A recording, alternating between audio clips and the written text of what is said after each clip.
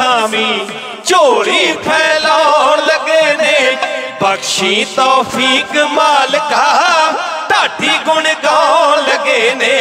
ਰਹਿਮਤ ਦਾ ਮੀਂਹ ਬਰਸਾਵੀ, ਝੋਲੀ ਫੈਲਾਉਣ ਲੱਗੇ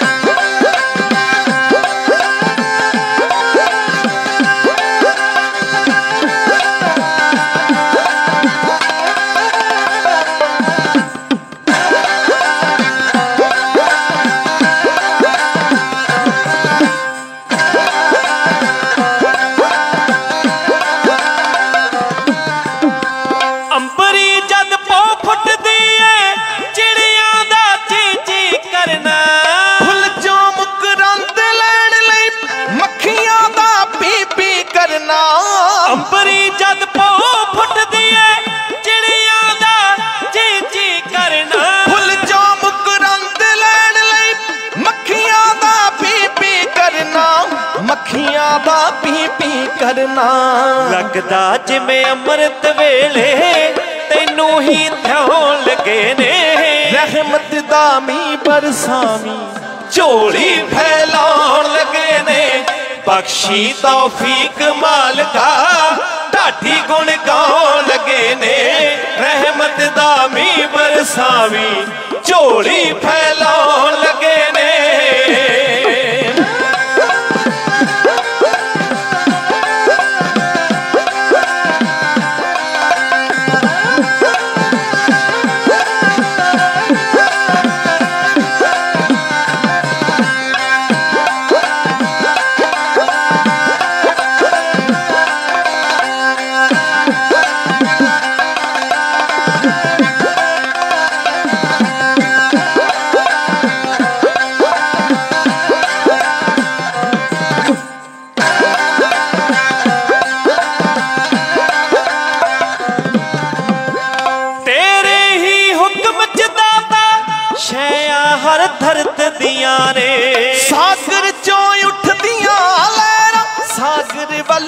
ਪਰਤਦੀਆਂ ਨੇ।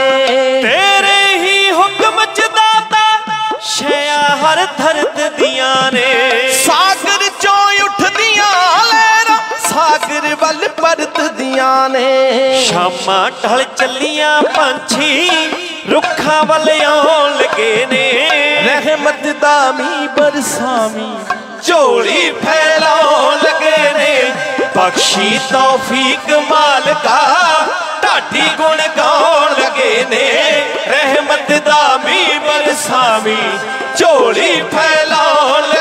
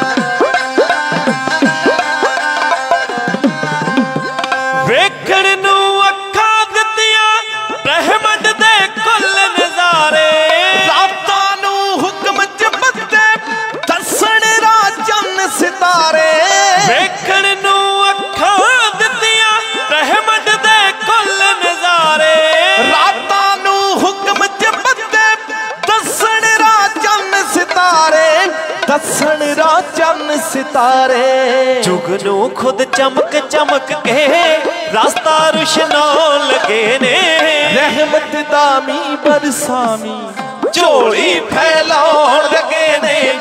ਬਖਸ਼ੀ ਤੌਫੀਕ ਮਾਲਕਾ, ਢਾਡੀ ਗੁਣ ਗਾਉਣ ਲੱਗੇ ਨੇ।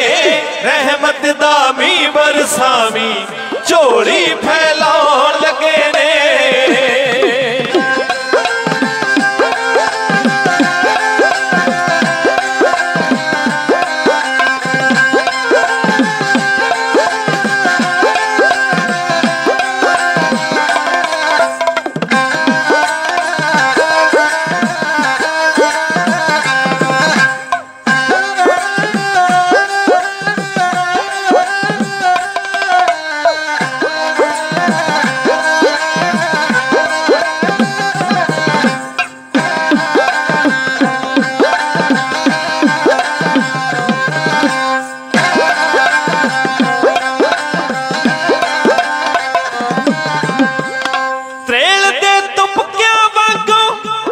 ਹਵਾ ਚੋਂ ਤਾਕਤ ਦੇ ਦੇ। ਅਰਜ਼ੀ ਪਾਗੀੜ ਰੰਗੀ ਦੀ ਆਪਣੀ ਸ਼ਨਾਖਤ ਦੇ ਦੇ। ਟ੍ਰੇਲ ਦੇ ਤੁਪਕਿਆਂ ਵਾਂਗੂ ਹਵਾ ਚੋਂ ਤਾਕਤ ਦੇ ਦੇ। ਅਰਜ਼ੀ ਪਾਗੀੜ ਰੰਗੀ ਦੀ ਆਪਣੀ ਸ਼ਨਾਖਤ ਦੇ ਦੇ। ਹੋ ਗਏ ਸੰਦੀਪ ਉਹ ਤੇਰੇ ਜੋ ਤੈਨੂੰ ਚਾਉਣ ਲੱਗੇ ਨੇ। ਰਹਿਮਤ ਦਾ ਮੀ ਬਰਸਾਵੀ। ਝੋਲੀ ਫੈਲਾਉਣ ਲੱਗੇ ਨੇ। ਬਖਸ਼ੀ ਤੌਫੀਕ ਮਾਲਕਾ, ਢਾਡੀ ਗੁਣ ਗਾਉਣ ਲੱਗੇ ਨੇ। ਰਹਿਮਤ ਦਾ ਮੀ ਬਰਸਾਵੀ ਝੋਲੀ ਫੈਲਾਉਣ ਲੱਗੇ ਨੇ। ਰਹਿਮਤ ਦਾ ਮੀ ਬਰਸਾਵੀ ਝੋਲੀ ਫੈਲਾਉਣ ਲੱਗੇ ਨੇ। ਰਹਿਮਤ ਦਾ ਮੀ ਬਰਸਾਵੀ ਝੋਲੀ ਫੈਲਾਉਣ ਲੱਗੇ ਨੇ।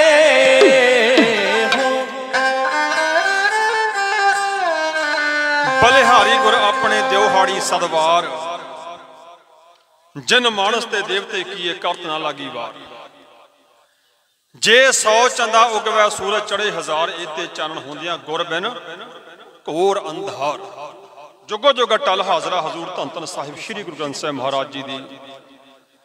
ਪਾਵਨ ਤੇ ਮੁਕੱਦਸ ਗੋਦ ਵਿੱਚ ਬੜੇ ਹੀ ਸਤਿਕਾਰ ਤੇ ਪਿਆਰ ਦੇ ਨਾਲ ਗੁਰੂ ਘਰ ਦੀਆਂ ਨਵਾਜੀਆਂ ਤੇ ਸਤਕਾਰੀਆਂ ਸੰਗਤਾਂ ਗੁਰਦੁਆਰਾ ਸ਼ੇਸ਼ਟਿੰਗ ਦੇ ਪਾਵਨ ਮੁਕਾਮ ਦੇ ਉੱਤੇ ਧੰਨ ਧੰਨ ਨਿਰੰਕਾਰੀ ਰੂਹ ਆਪ ਨਰੈਣ ਕਲਾ ਧਾਰ ਜਗ ਮੈਂ ਪਰਵਰਿਓ ਨਿਰੰਕਾਰ ਆਕਾਰ ਜੋਤ ਜਗ ਮੰਡਲ ਕਰਿਓ ਧੰਨ ਧੰਨ ਸਾਹਿਬ ਸ੍ਰੀ ਗੁਰੂ ਨਾਨਕ ਦੇਵ ਪਾਤਸ਼ਾਹ ਜੀ ਦੇ। ਪਾਵਨ ਵਿਆਹ ਪੁਰਬ ਦੇ ਸੰਬੰਧ ਵਿੱਚ ਜੁੜ ਬੈਠੇ ਆ, ਖੁਸ਼ੀਆਂ ਦੇ ਪਲਾਂ ਨੂੰ ਮਾਣਨ ਦੀ ਖਾਤਰ ਜੁੜ ਬੈਠੇ ਆ। ਉਹ ਪਰੰਪਰਾ ਜਿਹੜੀ ਪਰੰਪਰਾ ਸਦੀਆਂ ਪਹਿਲਾਂ ਗੁਰੂ ਨਾਨਕ ਨੇ ਸਾਡੀ ਝੋਲੀ ਪਾਈ, ਲਗ 537 ਸਾਲ ਪਹਿਲਾਂ ਦੀ ਉਸ ਇਤਿਹਾਸਕ ਘਟਨਾ ਨੂੰ ਮੁੜ ਕੇ ਫਿਰ ਯਾਦ ਕਰਨ ਦੀ ਖਾਤਰ ਜੁੜ ਬੈਠੇ ਆ ਧੰਨਵਾਦੀਆਂ ਮੈਂ ਸਮੁੱਚੀਆਂ ਸੰਗਤਾਂ ਦਾ, ਪ੍ਰਬੰਧਕਾਂ ਦਾ। ਗੁਰੂ ਘਰ ਦੇ ਪਿਆਰਿਆਂ ਦਾ ਜਿਨ੍ਹਾਂ ਨੇ ਸੱਦਾ ਭੇਜਿਆ ਹੈ, ਆਪ ਨਿਮਾਣੀਆਂ ਸੰਗਤਾਂ ਦੇ ਦਰਸ਼ਨ ਕਰਨ ਦੀ ਖਾਤਰ ਟਰੰਗੇ ਤੋਂ ਚੱਲ ਕੇ ਚੇਚੇ ਤੌਰ ਤੇ ਪਹੁੰਚੇ ਆ ਆਓ ਮਹਾਰਾਜ ਦੀ ਅਸੀਸ ਪ੍ਰਾਪਤ ਕਰਨ ਦਾ ਯਤਨ ਕਰੀਏ। ਸਮਾਂ ਬੜਾ ਸੀਮਿਤ ਜਿਹਾ ਹੈ, ਪੌਣੇ 1 ਵਜੇ ਤੱਕ ਸਮਾਂ ਮੁਕਰਰ ਹੈ। ਕੋਈ ਵੀ ਅਸਲਾ ਵਾਂਝੀ ਰਵੇ ਨਾ, ਸਭ ਤੋਂ ਪਹਿਲਾਂ ਪੋਹੀੜ ਵਾਲੇ ਢਾਡੀ ਜਥੇ। ਦਾਸ ਮਨਦੀਪ ਸਿੰਘ ਪੋਹੀੜ ਜ਼ਿਲ੍ਹਾ ਲੁਧਿਆਣਾ। ਸਾਥੀ ਗੁਰਦੀਪ ਸਿੰਘ ਸਹੌਰ ਬਰਨਾਲਾ, ਸਾਥੀ ਕਰਮਜੀਤ ਸਿੰਘ ਮਾਣੇਵਾਲ, ਮਾਛੀਵਾੜਾ ਸਾਹਿਬ ਅਤੇ ਸਾਰੰਗੀ ਵਾਦਕ ਸੰਦੀਪ ਸਿੰਘ ਬੱਲੋਵਾਲ, ਜ਼ਿਲ੍ਹਾ ਲੁਧਿਆਣਾ ਦੇ ਨਾਲ ਬੁਲੰਦ ਆਵਾਜ਼ ਦੇ ਵਿੱਚ ਫਤਿਹ ਨਾਲ ਇਤਿਹਾਸ ਦੇ ਪੰਨਿਆਂ ਨੂੰ ਆਰੰਭ ਕਰਨ ਲਈ ਦਿਓ ਪ੍ਰਵਾਨਗੀ ਜੀ ਬੁਲੰਦ ਆਵਾਜ਼ ਵਿੱਚ ਆਖੋ, ਵਾਹਿਗੁਰੂ ਜੀ ਕਾ ਖਾਲਸਾ, ਵਾਹਿਗੁਰੂ ਜੀ ਕੀ ਫਤਿਹ। ਧੰਨ ਧੰਨ ਗੁਰੂ ਗ੍ਰੰਥ ਸਾਹਿਬ ਮਹਾਰਾਜ ਦੀ ਪਾਵਨ ਬਾਣੀ ਦਾ ਬਚਨ ਹੈ ਕਿ ਗੁਰ ਬਿਨ ਘੋਰ ਅੰਧਾਰ, ਗੁਰੂ ਬਿਨ ਸਮਝ ਨਾ ਆਵੇ। ਜਿੱਥੇ ਇਨਸਾਨ ਦੀ ਸਮਝ ਮੁੱਕਦੀ ਹੈ, ਉੱਥੇ ਗੁਰੂ ਦੀ ਸਮਝ ਸ਼ੁਰੂ ਹੁੰਦੀ ਹੈ। ਅੱਜ ਗੁਰੂ ਮਹਾਰਾਜ ਦੀ ਪਾਵਨ ਹਜ਼ੂਰੀ ਦੇ ਵਿੱਚ ਸਤਿਗੁਰਾਂ ਦੇ ਪਵਿੱਤਰ ਇਤਿਹਾਸ ਦੇ ਵਿੱਚੋਂ ਉਹਨਾਂ ਦੇ ਪਾਵਨ ਵਿਆਹ ਪ੍ਰਭੂ ਨੂੰ ਸਮਰਪਿਤ ਪ੍ਰੋਗਰਾਮ ਦੇ ਵਿੱਚ ਜੁੜ ਬੈਠੇ ਆ ਇਸ ਉਮੀਦ ਦੇ ਨਾਲ ਕਿ ਗੁਰੂ ਸਾਹਿਬ ਦੀ ਰੋਸ਼ਨਾਈ ਦੇ ਵਿੱਚ ਸਾਡੇ ਵਿਆਹ ਕਿਦਾਂ ਦੇ ਹੋਣ। ਅਸੀਂ ਆਪਣੇ ਜੀਵਨ ਦੇ ਵਿੱਚ ਕਿਵੇਂ ਫੈਸਲੇ ਲੈਣੇ ਨੇ? ਗੁਰੂ ਨਾਨਕ ਸਾਹਿਬ ਨੇ ਕਿਵੇਂ ਫੈਸਲੇ ਲੈਣੇ ਤੇ ਸਾਡੀ ਵਿਚਾਰਧਾਰਾ ਕੀ ਕਹਿੰਦੀ ਹੈ? ਕਿਉਂਕਿ ਸਿੱਖ ਗੁਰਮਤਿ ਦੀ ਰੋਸ਼ਨੀ ਦੇ ਵਿੱਚ ਹੀ ਆਪਣੀ ਜ਼ਿੰਦਗੀ ਦਾ ਹਰ ਸੰਸਕਾਰ ਕਰਦਾ, ਸਾਡੇ ਜੀਵਨ ਦੇ ਚਾਰ ਸੰਸਕਾਰ ਨੇ। ਜਨਮ ਸੰਸਕਾਰ, ਅੰਮ੍ਰਿਤ ਸੰਸਕਾਰ, ਆਨੰਦ ਕਾਲ ਸੰਸਕਾਰ ਤੇ ਅੰਤਮ ਸੰਸਕਾਰ ਤੇ ਚੇਤੇ ਰੱਖਿਓ, ਚਾਰੇ ਬਾਣੀ ਨਾਲ ਨਿਭਦੇ ਨੇ। ਬੱਚਾ ਘਰ ਵਿੱਚ ਜਨਮ ਲੈਂਦਾ, ਅੱਜ ਸਾਡੇ ਤੇ ਅਸੀਂ ਗੁਰੂ ਮਹਾਰਾਜ ਦੀ ਪਾਵਨ ਬਾਣੀ ਨਾਲ ਜੁੜਦੇ ਹੋਏ ਮਹਾਰਾਜ ਦਾ ਆਸ਼ੀਰਵਾਦ ਪ੍ਰਾਪਤ ਕਰਦੇ ਆ ਪੂਤਾ ਮਾਤਾ ਕੀ ਅਸੀਸ, ਨਿਮਕ ਨਾ ਵਿਸਰੋ ਤੁਮਕੋ ਹਰ ਹਰ ਸਦਾ ਭਜੋ ਜਗਦੀਸ਼। ਪੂਤਾ ਮਾਤਾ ਕੀ ਅਸੀਸ, ਨਿਮਕ ਨਾ ਵਿਸਰੋ ਤੁਮਕੋ ਹਰ ਹਰ ਸਦਾ ਭਜੋ ਜਗਦੀਸ਼। ਭਾਵ ਸਾਡਾ ਜਨਮ ਵੀ ਗੁਰੂ ਨਾਨਕ ਸਾਹਿਬ ਦੀ ਬਾਣੀ ਨਾਲ ਜੁੜ ਕੇ ਆਰੰਭ ਹੁੰਦਾ ਹੈ ਤੇ ਜਦੋਂ ਆਖਰੀ ਦੌਰ ਦੇ ਵਿੱਚ ਬੰਦਾ ਜਾਂਦਾ, ਜਹਾਨ ਤੋਂ ਰਾਣਾ ਰਾਉ ਨਾ ਕੋਰ ਹੈ ਰੰਗ ਨਾ ਤੁੰਗ ਫਕੀਰ, ਵਾਰੀ ਆਪੋ ਆਪਣੀ ਕੋਈ ਨਾ ਬੰਦਾ ਤੇ। ਭਾਵ ਸਾਡਾ ਜਨਮ, ਸਾਡਾ ਆਨੰਦ, ਸਾਡਾ ਆਖਰ ਪਲ ਵੀ ਗੁਰਬਾਣੀ ਨਾਲ ਨਿਭਦਾ। ਸਾਨੂੰ ਇਹ ਬਾਣੀ ਮਿਲੀ ਕਿਵੇਂ? ਗੁਰਬਿਨ ਘੋਰ ਅੰਧਾਰ ਗੁਰੂ ਬਿਨ ਸਮਝ ਨਾ ਆਵੇ, ਗੁਰਬਿਨ ਸੁਰਤ ਨਾ ਸਤ ਗੁਰੂ ਬਿਨ ਮੁਕਤ ਨਾ ਪਾਵੇ। ਸਾਡੀ ਮੁਕਤੀ, ਸਾਡੀ ਜੁਗਤੀ, ਸਾਡੀ ਸ਼ਕਤੀ, ਸਾਡੀ ਭਗਤੀ, ਸਾਡੀ ਸੋਚ, ਸਾਡੀ ਵਿਚਾਰਧਾਰਾ, ਸਾਡਾ ਇਤਿਹਾਸ ਸਦੀਆਂ ਤੋਂ ਗੁਰਬਾਣੀ ਦੀ ਵਿਚਾਰਧਾਰਾ ਮੁਤਾਬਕ ਢਲਦਾ ਆ ਰਿਹਾ ਹੈ ਤੇ ਜੇ ਅਸੀਂ ਦੁਨੀਆ ਤੇ ਅੱਜ ਜਿਉਣ ਜੋਗੇ ਹੋਏ ਹਾਂ ਤੇ ਇਸ ਦੁਨੀਆ ਦੇ ਕੋਨੇ-ਕੋਨੇ ਦੇ ਵਿੱਚ ਗੁਰੂ ਨਾਨਕ ਦੇ ਘਰ ਦੀ ਸਿੱਖੀ ਦੀ ਚੜ੍ਹਦੇ ਕਲਾ ਹੈ, ਤੁਹਾਡੀਆਂ ਦਸਤਾਰਾਂ ਨੂੰ ਮਾਣ ਮਿਲਿਆ ਏ।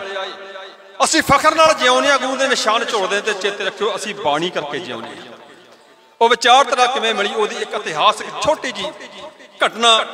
ਗੁਰੂ ਨਾਨਕ ਸਾਹਿਬ ਦੇ ਪਾਵਨ ਜੀਵਨ ਦੇ ਵਿੱਚੋਂ ਮਿੱਥੇ ਹੋਏ ਸਮੇਂ ਦੇ ਵਿੱਚ ਕਹਿਣ ਦਾ ਯਤਨ ਕਰਾਂਗਾ, ਧੰਨ ਗੁਰੂ ਨਾਨਕ ਸਾਹਿਬ ਦੀ ਉਮਰ ਜਿਸ ਵੇਲੇ 18 ਕੁ ਸਾਲਾਂ ਦੀ ਹੁੰਦੀ ਹੈ। ਬਚਪਨ ਦੇ ਵਿੱਚ ਹੀ ਗੁਰੂ ਨਾਨਕ ਸਾਹਿਬ ਨੇ ਦੁਨੀਆ ਨੂੰ ਐਸੇ ਐਸੇ ਬੋਲਾਂ ਨਾਲ ਨਿਵਾਜਿਆ ਹੈ ਐਸੀਆਂ ਐਸੀਆਂ ਕਰਾਮਾਤਾਂ ਨਾਲ ਨਿਵਾਜਿਆ ਏ। ਐਸੇ ਐਸੇ ਦੁਨੀਆ ਤੋਂ ਅਲੌਕਿਕ ਕਾਰਨਾਮਿਆਂ ਨੂੰ ਨਵਾਜਿਆ ਕਿ ਅੱਜ ਗੁਰੂ ਨਾਨਕ ਦੇ ਨਿਰੰਕਾਰੀ ਰੂਹ ਦੁਨੀਆ ਦੇ ਜਾਣਕਾਰੀ ਦੀ ਮੁਤਾਜ ਨਹੀਂ।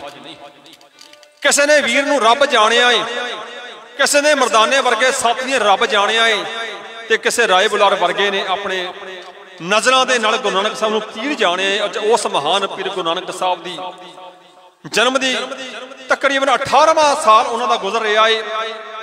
ਗੁਰੂ ਨਾਨਕ ਸਾਹਿਬ ਉਸ ਮੌਕੇ ਸੁਲਤਾਨਪੁਰ ਲੋਧੀ ਦੀ ਧਰਤੀ ਤੇ ਬਿਰਾਜਮਾਨ ਨੇ ਇੱਕ ਦਿਨ ਭੈਣ ਦੇ ਮਨ ਵਿੱਚ ਖਿਆਲ ਆਇਆ, ਵੀਰਿਆ, ਕਿਉਂ ਨਾ ਤੇਰੀ ਸ਼ਾਦੀ ਰਚਾਈਏ? ਤੇ ਜਿਹਨੂੰ ਮੈਂ ਆਪਣਾ ਗੁਰੂ ਵੀ ਮੰਨਦੀ ਆ ਤੇ ਜਿਹਨੂੰ ਮੈਂ ਆਪਣਾ ਮੀਰ ਪੀਰ ਵੀ ਮੰਨਦੀ ਆ ਜਿਹਨੂੰ ਰੱਬ ਦਾ ਭੇਜਿਆ ਮਹਾਨ ਇਨਸਾਨ ਸਮਝਦੀ ਆ ਮੇਰੇ ਦਿਲ ਵਿੱਚ ਰੀਝ ਹੈ ਕਿ ਭਾਬੋ ਰਾਣੀ ਨੂੰ ਮੈਂ ਆਪਣੇ ਘਰ ਲੈ ਕੇ ਆਵਾਂ। ਮੇਰੇ ਦਿਲ ਦੀ ਰੀਝ ਇਤਿਹਾਸ ਦੇ ਪੰਨੇ ਕਹਿੰਦੇ ਨੇ, ਵੀਰੇ ਨੇ ਫਿਰ ਇੱਕੋ ਗੱਲ ਦੇ ਨਾਲ, ਭੈਣ ਦੇ ਨਾਲ ਹਾਮੀ ਭਰੀਏ। ਕਿ ਭੈਣੇ, ਜਿੱਥੇ ਤੇਰਾ ਮਨ ਕਰਦਾ ਜਿੱਥੇ ਤੂੰ ਰਿਸ਼ਤਾ ਜੋੜੇਗੀ, ਤੇਰੇ ਵੀਰ ਨੂੰ ਪ੍ਰਵਾਨ ਹੋਵੇਗਾ। ਭਾਈਆ, ਜਾ ਰਾਮ ਰਿਸ਼ਤਾ ਗੰਢ ਕੇ ਆਏ ਨੇ। ਇਤਿਹਾਸ ਦੇ ਪੰਨੇ ਕਹਿੰਦੇ ਨੇ, ਪੱਖੋ ਕੇ ਰੰਧਾਵੇ ਜ਼ਿਲ੍ਹਾ ਗੁਰਦਾਸਪੁਰ ਦਾ ਪਿੰਡ ਹੈ। ਮੂਲ ਨਿਵਾਸੀ ਨੇ ਬਟਾਲੇ ਦੇ ਰਹਿਣ ਵਾਲੇ ਭਾਈ ਮੂਲ ਚੰਦ ਖੱਤਰੀ ਜੀ। ਜਿਨ੍ਹਾਂ ਦੇ ਨਾਲ ਪਰਿਵਾਰ ਦਾ ਰਿਸ਼ਤਾ ਗੰਢਿਆ ਆ ਗਿਆ ਏ, ਭਾਈ, ਭਾਈਆ ਜੈ ਰਾਮ ਦੇ ਕਹਿਣ ਦੇ ਉੱਤੇ। ਮਿਥਿਆ ਗਿਆ ਏ ਉਚੇਚੇ ਤੌਰ ਤੇ ਦਿਨ, ਜਿਹਨੂੰ ਅੱਜ ਦੇ ਸੰਦਰਭ ਦੇ ਵਿੱਚ 24 ਸਤੰਬਰ ਸਨ 1487 ਕਹਿੰਦੇ ਆ। ਤੇ ਆਖਰ ਸਮੁੱਚੇ ਪਰਿਵਾਰ ਦੇ ਵਿੱਚ ਵਿਆਹ ਦੀਆਂ ਤਿਆਰੀਆਂ ਹੋਈਆਂ ਨੇ, ਉਚੇਚੇ ਤੌਰ ਦੇ ਪਿਤਾ ਮਹਿਤਾ ਕਲਿਆਣ ਦਾਸ ਜੀ, ਮਾਤਾ ਤ੍ਰਿਪਤਾ ਜੀ ਸੁਲਤਾਨਪੁਰ ਲੋਧੀ ਦੀ ਧਰਤੀ ਤੇ ਪਹੁੰਚੇ ਨੇ। ਸ਼ਹਿਰ ਦੇ ਪਦਵੰਤੇ ਸੱਜਣ, ਰਾਏ ਬੁਲਾਰ ਵਰਗੇ ਚੌਧਰੀ ਚੇਤੇ ਰੱਖਿਓ, ਗੁਰੂ ਨਾਨਕ ਘਰ ਦੇ ਦੀ ਬਰਾਤ ਦੇ ਵਿੱਚ, ਗੁਰੂ ਨਾਨਕ ਸਾਹਿਬ ਦੀ ਪਵਿੱਤਰ ਬਰਾਤ ਦੇ ਵਿੱਚ ਅਸੀਂ ਪੜ੍ਹਦੇ ਹਾਂ ਇਤਿਹਾਸ ਦੇ ਵਿੱਚ ਗਰੀਬ ਸੀ, ਗੁਰਬੇ ਸੀ, ਆਮ ਲੋਕਾਂ ਨੂੰ ਸਦਾ ਭੇਜਿਆ ਗਿਆ, ਉੱਥੇ ਚੇਤੇ ਰੱਖਿਓ, ਕੇਵਲ ਆਮ ਲੋਕ ਹੀ ਨਹੀਂ ਸੀ, ਸ਼ਹਿਰ ਦੇ ਪਦਵੰਤੇ ਸੱਜਣ ਵੀ ਸੀ, ਕਿਉਂਕਿ ਗੁਰੂ ਨਾਨਕ ਸਾਹਿਬ ਦੇ ਪਿਤਾ ਜੀ ਮਹਿਤਾ ਕਲਿਆਣ ਦਾ ਜੀ ਪਟਵਾਰੀ ਦੇ ਅਹੁਦੇ ਤੇ ਤਾਇਨਾਤ ਸੀ ਤੇ ਉਸ ਮੌਕੇ ਰਾਏ ਬੁਲਾਰ ਲਗਭਗ 1500 ਮੁਰੱਬਿਆਂ ਦਾ ਮਾਲਕ ਸੀ, ਇਤਿਹਾਸ ਦੇ ਪੰਨੇ ਕਹਿੰਦੇ ਨੇ। ਜਿਨ੍ਹਾਂ ਦੇ ਨਾਲ ਰਿਸ਼ਤਾ ਗੰਢਿਆ ਗਿਆ, ਉਹ ਵੀ ਕਾਨੂੰਗੋ ਦੀ ਪਦਵੀ ਦੇ ਉੱਤੇ ਨਿਯੁਕਤ ਸਨ। ਜਿਨ੍ਹਾਂ ਦੇ ਨਾਲ ਰਿਸ਼ਤੇ ਗੰਢਨੇ ਇੱਕ ਪਟਵਾਰੀ ਤੇ ਇੱਕ ਕਾਨੂੰਗੋਆ, ਦੋ ਪਰਿਵਾਰਾਂ ਦੀ ਸਾਂਝ ਪਈ ਹੈ ਤੇ ਆਖਰ ਮਿੱਥੇ ਹੋਏ ਦਿਨ ਦੇ ਉੱਤੇ ਧੰਨ ਗੁਰੂ ਨਾਨਕ ਸਾਹਿਬ ਦੀ ਜਿਵੇਂ ਬਰਾਤ ਸੁਲਤਾਨਪੁਰ ਲੋਧੀ ਦੀ ਧਰਤੀ ਤੋਂ ਚੜ੍ਹਦੀ ਏ। ਤੇ ਭੈਣ ਬਾਗਾ ਫੜ ਕੇ ਕਿਵੇਂ ਆਪਣੇ ਵੀਰ ਦੀ ਘੋੜੀ ਤੋਂ ਪਹਿਲਾਂ ਉਹ ਤੋਂ ਸ਼ਗਨ ਪ੍ਰਾਪਤ ਕਰਦੀ ਹੈ? ਉਹਨੇ ਇਤਿਹਾਸਕ ਪੰਨਿਆਂ ਦਾ ਵਰਣਨ ਢਾਡੀ ਜੱਤਾ ਭੀੜ ਵਾਲਿਆਂ ਦਾ ਆਪਣੇ ਸ਼ਬਦਾਂ ਦੇ ਵਿੱਚ, ਹੇ। ਇਹੋ ਕਹਿੰਦਾ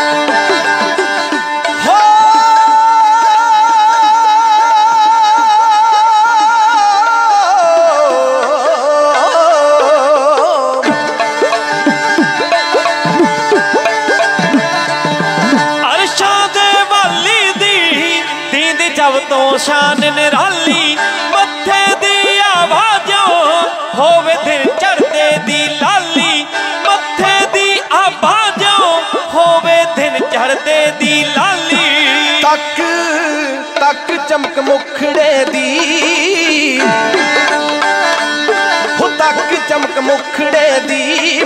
ਸੂਰਜ ਚੰਦ ਹੋਏ ਮਤ ਜੰਜ ਸਤਗੁਰ ਨਾਨਕ ਦੀ। ਆ ਕੇ ਟੁੱਕੀ ਸ਼ਹਿਰ ਬਟਾਲੇ, ਜੰਜ ਸਤਗੁਰ ਨਾਨਕ ਦੀ। ਆ ਕੇ ਟੁੱਕੀ ਸ਼ਹਿਰ ਬਟਾਲੇ। ਸ਼ਬ ਬਖਰੀ ਸਤਗੁਰ ਦੀ, ਅੱਖਾਂ ਵਿੱਚ ਅਨੋਖੀ ਮਸਤੀ। ਜਿਵੇਂ ਤੁਰਦੀ ਧਰਤੀ ਤੇ ਕੋਈ ਅੰਬਰੋਂ ਆਈ ਹਸਤੀ। ਜਿਵੇਂ ਤੁਰਦੀ ਧਰਤੀ ਤੇ ਕੋਈ ਅੰਬਰੋਂ ਆਈ ਹਸਤੀ। ਮਾਂ ਤ੍ਰਿਪਤਾ ਕਾਲੂ ਜੀਓ।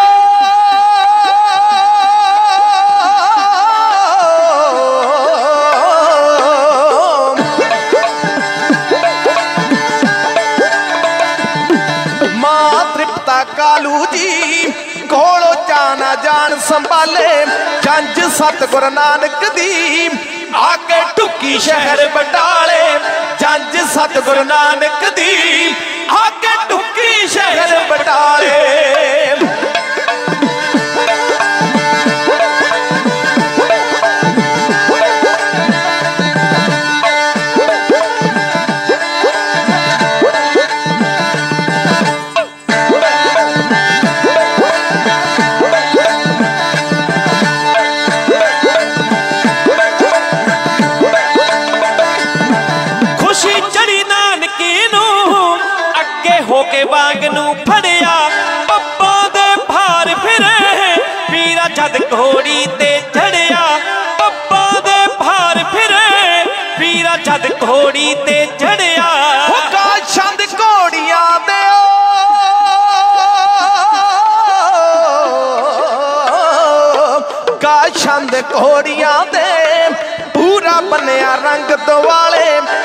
ਜੰਜ ਸਤਗੁਰ ਨਾਨਕ ਦੀ ਆ ਕੇ ਟੁੱਕੀ ਸ਼ਹਿਰ ਬਟਾਲੇ।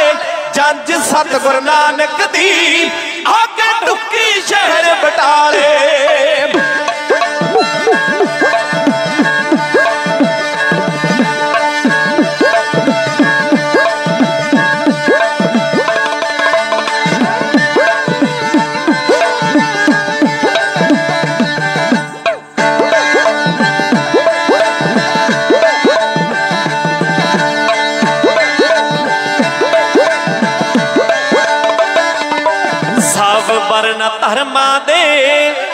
ਸਭ ਧਰਮਾਂ ਦੇ ਇਕੱਠੇ ਹੋ ਕੇ ਜਾਣ ਬਰਾਤੀ। ਭਾਈ ਮਰਦਾਨਾ ਵੀ ਤੁਰਦਾ ਕਰ ਕਰ ਚੌੜੀ ਛਾਤੀ। ਭਾਈ ਮਰਦਾਨਾ ਵੀ ਤੁਰਦਾ ਕਰ ਕਰ ਚੌੜੀ ਛਾਤੀ। ਕਈ ਸਾਧੂ ਸੰਤ ਤੁਰਿਓ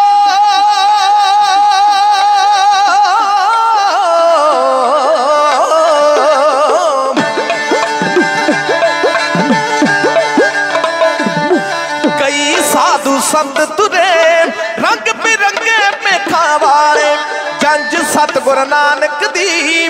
ਆ ਕੇ ਢੁੱਕੀ ਸ਼ਹਿਰ ਬਟਾਲੇ, ਜੰਜ ਸਤਗੁਰ ਨਾਨਕ ਦੀ। ਆ ਕੇ ਢੁੱਕੀ ਸ਼ਹਿਰ ਬਟਾਲੇ।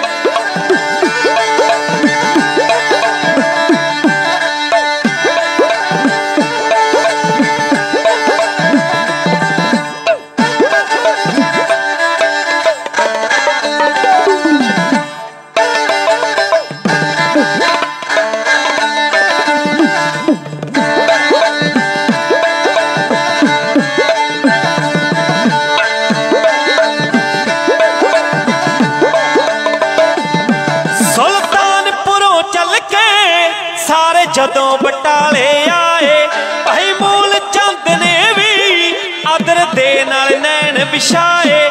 ਭਾਈ ਮੂਲ ਚੰਦ ਨੇ ਵੀ ਅਦਰ ਦੇ ਨਾਲ ਨੈਣ ਵਿਛਾਏ। ਸਭ ਖੜੇ ਸੋਚਦੇ ਸੀਓ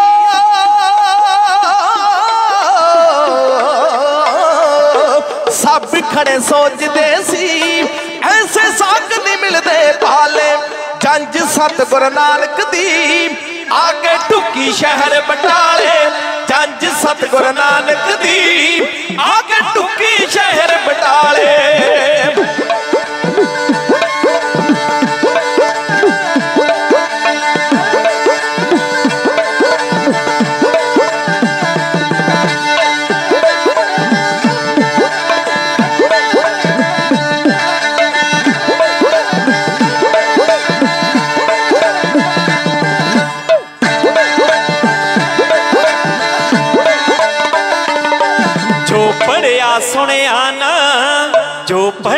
ਸੁਣਿਆ ਨਾ, ਅੱਜ ਤੱਕ ਪਾਕ ਪਵਿੱਤਰ ਉੱਚਾ। ਅੱਜ ਸੱਚੇ ਸਤਿਗੁਰ ਜੀ ਮੰਤਰ ਦੇ ਕੇ ਜਾਣਗੇ ਸੁੱਚਾ। ਅੱਜ ਸੱਚੇ ਸਤਿਗੁਰ ਜੀ ਮੰਤਰ ਦੇ ਕੇ ਜਾਣਗੇ ਸੁੱਚਾ। ਹੋ ਰੰਗੀ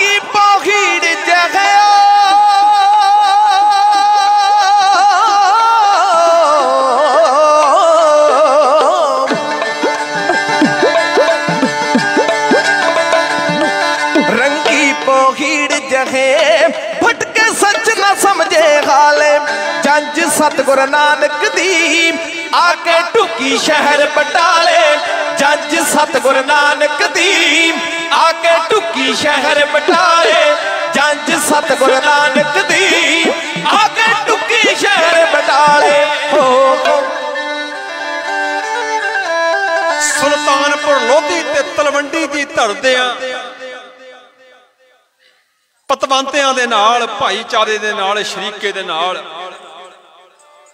ਉੱਚੇ ਰੁਤਬੇ ਵਾਲਿਆਂ ਦੇ ਨਾਲ ਨਾਲ ਉੱਥੇ ਗਰੀਬ, ਮਸਕੀਨ, ਗੁਰੂ ਨਾਨਕ ਨੂੰ ਦਿਲੋਂ ਮੁਹੱਬਤ ਕਰਨ ਵਾਲੇ ਵੀ ਸੁਲਤਾਨਪੁਰ ਲੋਧੀ ਦੀ ਧਰਤੀ ਉਤੋਂ ਬਰਾਤ ਦੇ ਰੂਪ ਦੇ ਵਿੱਚ ਬਟਾਲੇ ਦੀ ਧਰਤੀ ਵੱਲ ਨੂੰ ਰਵਾਨਾ ਹੋਏ ਦੁਨੀਆ ਦੇ ਵਿੱਚ ਉੱਚੇ ਅਹੁਦੇ ਵਾਲਿਆਂ ਦੀਆਂ ਬਰਾਤਾਂ ਜਦੋਂ ਤੁਰਦੀਆਂ ਨੇ ਤੇ ਆਮ ਤੌਰ ਤੇ ਗਰੀਬਾਂ ਨੂੰ ਦੁਰਕਾਰਿਆ ਜਾਂਦਾ ਹੈ ਪਰ ਅੱਜ ਨਿਰੰਕਾਰੀ ਰੂਹ ਨੇ ਭਾਈ ਮਰਦਾਨਾ, ਇੱਕ ਗਰੀਬ ਮਰਾਸੀ ਵੀ ਆਪਣੇ ਨਾਲ ਤੋਰਿਆ। ਚੇਤੇ ਰੱਖਿਓ 54 ਸਾਲ ਨਿਭਾਏ ਨੇ ਭਾਈ ਮਰਦਾਨੇ ਨੇ ਗੁਰੂ ਨਾਨਕ ਸਾਹਿਬ ਦੇ ਨਾਲ। ਜਦੋਂ ਜ਼ਿੰਦਗੀ ਦਾ ਸਭ ਤੋਂ ਅਹਿਮ ਫੈਸਲਾ ਸੀ, ਉਦੋਂ ਵੀ ਭਾਈ ਮਰਦਾਨਾ ਨਾਲ ਸੀ। ਇੱਕ ਬਾਬਾ ਅਕਾਲ ਰੂਪ, ਦੂਜਾ ਰਬਾਬੀ ਮਰਦਾਨਾ। ਮਰਦਾਨਾ ਨਾਲ ਤੁਰਿਆ ਏ, ਚੌੜੀ ਛਾਤੀ ਕਰ ਕਰ ਤੁਰਦਾ ਏ। ਅੱਜ ਮੇਰੇ ਮੁਰਸ਼ਦ, ਮੇਰੇ ਵਲੀ ਜਿਨੇ ਮੈਨੂੰ ਰਸਤੇ ਪਾਇਆ ਜਿਨੇ ਮੈਨੂੰ ਰਾਗ ਦੇ ਨਾਲ ਕੀਰਤਨ ਦੀ ਦਾਤ ਬਖਸ਼ੀਏ ਅੱਜ ਉਹ ਵੀ ਨਵਾਜਿਆ ਗਿਆ ਉਹ ਵੀ ਨਾਲ ਤੁਰਿਆ ਏ। ਭੈਣ ਨੇ 100 100 ਸ਼ਗਨ ਮਨਾਏ ਨੇ। ਬਾਪੂ ਦੀ ਚੌੜੀ ਛਾਤੀ ਹੋਈ ਏ। ਬਾਗਾਂ ਫੜੀਆਂ ਨੇ ਭੈਣ ਨੇ। ਸ਼ਗਨ ਲੈ ਕੇ ਵਿਦਾ ਕੀਤਾ ਤੇ ਪਹੁੰਚੀ ਜੰਜ ਬਟਾਲੇ ਦੀ ਧਰਤੀ ਦੇ ਉੱਤੇ। ਭਾਈ ਮੂਲ ਚੰਦ ਜੀ ਨੇ ਦਿਲੋਂ ਸਤਿਕਾਰ ਕੀਤਾ, ਦਿਲੋਂ ਮੁਹੱਬਤ ਦੇ ਨਾਲ ਬਰਾਤ ਦਾ ਉਤਾਰਾ ਹੋਇਆ। ਮਹਾਰਾਜ ਦੇ ਪਵਿੱਤਰ ਚਰਨ ਬਟਾਲੇ ਦੀ ਧਰਤੀ ਦੇ ਉੱਤੇ ਜਿਵੇਂ ਪਏ ਤੇ ਚਾਰੇ ਪਾਸੇ ਲੋਕਾਂ ਨੇ ਆਪਣੇ ਆਪ ਨੂੰ ਭਾਗਾਂ ਵਾਲੇ ਸਮਝਿਆ। ਕਿਉਂਕਿ ਗੁਰੂ ਨਾਨਕ ਦੇ ਘਰ ਦੀ ਰੁਸ਼ਨਾਈ, ਗੁਰੂ ਨਾਨਕ ਦੀ ਰੁਸ਼ਨਾਈ, ਉਹਨਾਂ ਦੀ ਮੁਹੱਬਤ ਦੀ ਰੁਸ਼ਨਾਈ ਚਾਰੇ ਪਾਸੇ ਫੈਲ ਚੁੱਕੀ ਸੀ। ਇੱਕ ਰਤਬਾ ਵੀ ਵੱਡਾ, ਜ਼ਮਾਨੇ ਦੇ ਵਿਦਵਾਨ ਵੀ ਵੱਡੇ, ਰੱਬ ਦੇ ਵੱਲੋਂ ਭੇਜੇ ਹੋਏ ਅਵਤਾਰ ਵੀ ਸੀ ਉਹ ਗਰੀਬਾਂ ਦੇ ਮਸੀਹਾ ਵੀ ਸੀ ਦੇ ਸੱਚ ਜਾਣੇ। ਇੰਨੇ ਗੁਣ ਇੱਕ ਇਨਸਾਨ ਵਿੱਚ ਹੋਣੇ ਨਾਮੁਮਕਿਨ ਨੇ। ਪਰ ਗੁਰੂ ਨਾਨਕ ਦੇ ਘਰ ਦੇ ਨਾਲ ਰਿਸ਼ਤਾ ਜੁੜ ਕੇ ਭਾਈ ਮੂਲ ਚੰਦ ਵੀ ਨਿਵਾਜਿਆ ਗਿਆ। ਜਿਹਨੇ ਆਪਣੀ ਧੀ ਸੁਲੱਖਣੀ ਦਾ ਰਿਸ਼ਤਾ ਗੁਰੂ ਨਾਨਕ ਸਾਹਿਬ ਦੇ ਨਾਲ ਗੰਢਿਆ ਸੀ। ਅੱਜ ਵੀ ਜਦੋਂ ਬਰਾਤਾਂ ਤੁਰਦੀਆਂ ਨੇ, ਪਹੁੰਚਦੀਆਂ ਨੇ, ਮਿਲਣੀਆਂ ਹੁੰਦੀਆਂ ਨੇ, ਸਦੀਆਂ ਪੁਰਾਣੀਆਂ ਰਵਾਇਤਾਂ ਨੂੰ ਨਿਭਾਇਆ ਜਾਂਦਾ ਏ, ਪੂਰਿਆ ਜਾਂਦਾ ਏ। ਅੱਜ ਮਿਲਣੀਆਂ ਹੋਈਆਂ ਨੇ ਭਾਈ ਮੂਲ ਚੰਦ ਜੀ ਦੀ ਤੇ ਮਹਿਤਾ ਕਲਿਆਣ ਦੱਸਦੀਆਂ ਅੱਜ ਵੀ ਇਹ ਸ਼ਬਦ ਪੜ੍ਹਦੇ ਨੇ ਰਾਗੀ ਹਮ ਕਰ ਸਾਜਨੇ ਆਏ ਸਾਚੇ ਮੇਲ ਮਲਾਏ ਗੁਰੂ ਨਾਨਕ ਸਾਹਿਬ ਦੀ ਪਵਿੱਤਰ ਬਾਣੀ ਦੇ ਵਿੱਚੋਂ। ਤੇ ਸੱਜ ਜਾਣਿਓ, ਉਸ ਮੌਕੇ ਵੀ ਇਹਨਾਂ ਖੁਸ਼ੀਆਂ ਦੇ ਪਲਾਂ ਨੂੰ ਮਾਣਿਆ ਹੋਵੇਗਾ। ਭਾਈ ਮੂਲ ਚੰਦ ਜੀ ਨੇ ਬਰਾਤ ਦਾ ਉਤਾਰਿਆ ਹੋਇਆ, ਮਿਲਣੀਆਂ ਹੋਈਆਂ ਨੇ ਤੇ ਜੰਜ ਉਦੋਂ ਇਹ ਇਤਿਹਾਸ ਦੇ ਪੰਨੇ ਕਹਿੰਦੇ ਨੇ। 50 ਸਾਲ ਦੇ ਲਗਭਗ ਮੇਰੀ ਉਮਰ ਹੋ ਚੁੱਕੀ ਏ ਤੇ ਤਦੋਂ ਤੋਂ ਲਗਭਗ ਇੱਕੋ ਦਿਨ ਬਰਾਤ ਰਹਿੰਦੀ ਸੀ, ਪਰ ਜਦੋਂ 70 80 ਸਾਲ ਦੇ ਪੁਰਾਣੇ ਬਜ਼ੁਰਗਾਂ ਨੂੰ ਪੁੱਛੀਏ 90 ਸਾਲ ਦੇ ਪੁਰਾਣੇ ਬਜ਼ੁਰਗਾਂ ਨੂੰ ਪੁੱਛਦੇ, ਕਈ ਕਈ ਦਿਨ ਬਰਾਤਾਂ ਰਹਿੰਦੀਆਂ ਹੁੰਦੀਆਂ ਸੀ। ਜਿਹੜੇ ਦਿਨ ਜਾਂਦੇ ਸੀ, ਉਸੇ ਦਿਨ ਮੁੜਦੇ ਨਹੀਂ ਸੀ। ਅੱਜ ਵਾਂਗੂ ਨਹੀਂ 2 ਘੰਟੇ ਪੈਲਸ ਵਿੱਚ ਬਿਤਾਏ ਤੇ ਆਪੋ ਆਪਣੇ ਘਰ ਨੂੰ ਚਲੇ ਗਿਆ, ਪਰ ਇਹ ਉਹ ਦੌਰ ਦੀ ਗੱਲ ਹੈ ਜਦੋਂ ਵਾਕਈ ਇੱਕ ਵਿਆਹ ਨੂੰ ਸੱਚ ਵਿੱਚ ਵਿਆਹ ਸਮਝਿਆ ਜਾਂਦਾ ਸੀ, ਇੱਕ ਦੁੱਖ ਦੇ ਦੁੱਖ ਸੁੱਖ ਦੇ ਸਾਂਝੀ ਵੱਲ ਬਣਿਆ ਜਾਂਦਾ ਸੀ। ਅੱਜ ਤਾਂ ਇਹ ਗੱਲਾਂ ਹੋ ਗਈਆਂ ਨੇ, ਜੇ ਸ਼ਰਾਬ ਕਬਾਬ ਦੇ ਨਾਲ ਸੇਵਾ ਨਾ ਕੀਤੀ ਤੇ ਸੱਚ ਸੱਜ ਜਾਣਿਓ, ਸਾਹਮਣੇ ਵਾਲਿਆਂ ਦੇ ਮੱਥੇ ਤੇ ਵੱਟ ਪੈ ਜਾਂਦੇ ਨੇ। ਪਰ ਗੁਰੂ ਨਾਨਕ ਦੇ ਘਰ ਦੀ ਜਿਹੜੀ ਮਰਜ਼ਾਦਾ ਇਹਨਾਂ ਨੇ ਬੜੀ ਕਮਾਲ ਦੀ। ਉਹਨਾਂ ਨੇ ਸਾਨੂੰ ਇੱਕ ਨਾਲ ਜੋੜਿਆ ਏ, ਇੱਕ ਪਰੰਪਰਾ ਨਾਲ ਜੋੜਿਆ ਏ। ਗੁਰਮੁਖ ਦਾ ਕੈਸਾ ਜੀਵਨ ਹੋਣਾ ਚਾਹੀਦਾ, ਗੁਰਮੁਖ ਦੀ ਕੈਸੀ ਵਿਚਾਰਧਾਰਾ ਹੋਣੀ ਚਾਹੀਦੀ, ਗੁਰਮੁਖ ਦਾ ਕੈਸਾ ਆਨੰਦ ਹੋਣਾ ਚਾਹੀਦਾ ਏ, ਸਿਖਾਇਆ ਏ ਆਪਣੇ ਵਿਆਹ ਦੇ ਨਾਲ। ਕੀਰਤਨ ਕੀਤੇ ਨੇ ਭਾਈ ਮਰਦਾਨਿਆ ਜੀ ਵਰਗਿਆਂ ਨੇ। ਇਤਿਹਾਸ ਦੇ ਪੈਨੇ ਪੰਨੇ ਕਹਿੰਦੇ ਨੇ ਕਿ ਮਿੱਥੇ ਹੋਏ ਦਿਨ ਦੇ ਉੱਤੇ ਜਿਸ ਦਿਨ ਗੁਰੂ ਨਾਨਕ ਸਾਹਿਬ ਦੀ ਸ਼ਾਦੀ ਦੀ ਰਸਮ ਅਦਾ ਕੀਤੀ ਜਾਣੀ ਸੀ, ਉਸ ਦਿਨ ਮਿੱਥੇ ਹੋਏ ਮਹੂਰਤ ਦੇ ਮੁਤਾਬਕ ਕਿਉਂਕਿ ਸਾਹੇ ਕਢਾਏ ਜਾਂਦੇ ਸੀ, ਉਸ ਦੌਰ ਦੇ ਵਿੱਚ ਪੰਡਤਾਂ ਨੇ ਆਪਣੀਆਂ ਰੀਤਾਂ ਦੇ ਮੁਤਾਬਕ, ਆਪਣੀਆਂ ਰਵਾਇਤਾਂ ਦੇ ਮੁਤਾਬਕ ਢੰਗ ਬਣਾਏ ਹੋਏ ਸੀ ਸਦੀਆਂ ਤੋਂ ਖਾਣ ਪੀਣ ਦੇ। ਪਰ ਉਹਨਾਂ ਨੂੰ ਇਹ ਨਹੀਂ ਸੀ ਪਤਾ ਕਿ ਅੱਜ ਦੁਨੀਆ ਨੂੰ ਸਿੱਧੇ ਰਾਹੇ ਪਾਉਣ ਵਾਲੀ ਗੁਰੂ ਨਾਨਕ ਦਾ ਅੱਜ ਵਿਆਹ ਹੋਣ ਜਾ ਰਿਹਾ ਏ। ਮਿੱਥੇ ਹੋਏ ਦਿਨ ਦੇ ਉੱਤੇ ਸਮੁੱਚਾ ਭਾਈਚਾਰਾ ਇਕੱਤਰ ਹੋਇਆ ਬੈਠਾ, ਦੋਵੇਂ ਧਿਰਾਂ ਦੇ ਧੇਤਿਆਂ ਵਾਲੇ ਪਤੇਤਿਆਂ ਵਾਲੇ ਦੂਰ ਦਰਾਡੇ ਦੇ ਰਿਸ਼ਤੇਦਾਰ ਸਾਰੇ ਇਕੱਠੇ ਹੋਏ ਬੈਠੇ ਨੇ। ਗੁਰੂ ਨਾਨਕ ਸਾਹਿਬ ਦੇ ਕਮਾਲ ਦੇ ਢੰਗ ਨੇ ਜੀਵਨ ਦੇ ਵਿੱਚ ਪ੍ਰਚਾਰ ਦੇ। ਸਾਰੇ ਭਾਈਚਾਰੇ ਦੇ ਇਕੱਠੇ ਬੈਠੇ, ਉਹਨਾਂ ਨੇ ਕੀ ਵੇਖਿਆ ਕਿ ਸਾਹਮਣੇ ਬੇਦੀ ਗੱਡੀ ਹੋਈ ਏ ਤੇ ਬੈਠਾ ਪੰਡਤ ਮੰਤਰ ਪੜ ਰਿਹਾ। ਮਿੱਥੇ ਹੋਏ ਸਮੇਂ ਦੇ ਉੱਤੇ ਗੁਰੂ ਨਾਨਕ ਸਾਹਿਬ ਨੂੰ ਕੋਲ ਬੁਲਾਇਆ ਗਿਆ। ਸ਼ਾਦੀ ਦੀ ਰਸਮ ਦੀ ਅਦਾਇਗੀ ਕਰਨ ਦੀ ਖਾਤਰ ਜਿਹੜੀ ਸਦੀਆਂ ਤੋਂ ਪਰੰਪਰਾ ਬਣੀ ਹੋਈ ਹੈ। ਹਿੰਦੂ ਧਰਮ ਦੇ ਮੁਤਾਬਕ, ਹਿੰਦੂ ਸਨਾਤਨ ਮਤ ਦੇ ਮੁਤਾਬਕ, ਜਿਹੜੀ ਵਿਆਹ ਦੀ ਮਰਜ਼ਾਦਾ ਨਿਭਾਈ ਜਾਂਦੀ ਹੈ, ਉਹ ਵੇਦੀ ਗੱਡ ਕੇ ਅਗਨੀ ਦੇ ਦੁਆਲੇ ਸੱਤ ਫੇਰੇ ਲੈ ਕੇ ਆਪਣੇ ਜੀਵਨ ਦੇ ਵਿਆਹ ਨੂੰ ਮੁਕੰਮਲ ਕਰਦੇ ਨੇ। ਇਹ ਸਦੀਆਂ ਦੀ ਪਰੰਪਰਾ ਹੈ। ਵੈਸੇ ਹੋਰ ਵੀ ਕਈ ਢੰਗ ਨੇ, ਪਰ ਇੰਨਾ ਸਮਾਂ ਨਹੀਂ ਕਿ ਅੱਜ ਮੈਂ ਖੁਲਾਸਾ ਕਰ ਸਕਾਂ। ਅੱਜ ਗੁਰੂ ਨਾਨਕ ਸਾਹਿਬ ਦੇ ਵਿਆਹ ਦੀ ਰਸਮ ਨੂੰ ਅਦਾਇਗੀ ਕਰਨ ਦੀ ਖਾਤਰ ਭਾਈ ਮੂਲ ਚੰਦ ਚੋਣਾ ਜੀ ਦੇ ਕੁੱਲ ਪੁਰੋਹਿਤ ਪੰਡਤ ਜੀ ਵੱਲੋਂ ਬੇਦੀ ਕੱਢੀ ਗਈ।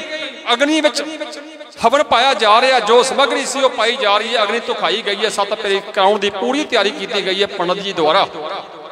ਗੁਰੂ ਨਾਨਕ ਸਾਹਿਬ ਨੀਂਹ ਜਲਾਲਾ ਵੇਖੀ ਜਾ ਰਹੀ। ਤੇ ਸ਼ਾਇਦ ਕਿਤੇ ਇੱਕ ਪਾਸੇ ਬੈਠਾ ਪੰਡਤ ਹਰਦਿਆਲ। ਗੁਰੂ ਨਾਨਕ ਦੇ ਘਰ ਦਾ ਕੁੱਲ ਪ੍ਰੋਹਿਤ। ਉਹ ਵੀ ਬੈਠਾ ਸੋਚਦਾ ਹੋਣਾ ਚਿੱਤ ਰੱਖਿਓ, ਇਹ ਕਮਾਲ ਦਾ ਬੜਾ ਇਤਿਹਾਸ ਹੈ। ਇਸ ਇਤਿਹਾਸ ਦੇ ਵਿੱਚ ਗੁਰੂ ਨਾਨਕ ਦੇ ਘਰ ਦੇ ਬੜੇ ਰਹੱਸ ਛੁਪੇ ਹੋਏ ਨੇ।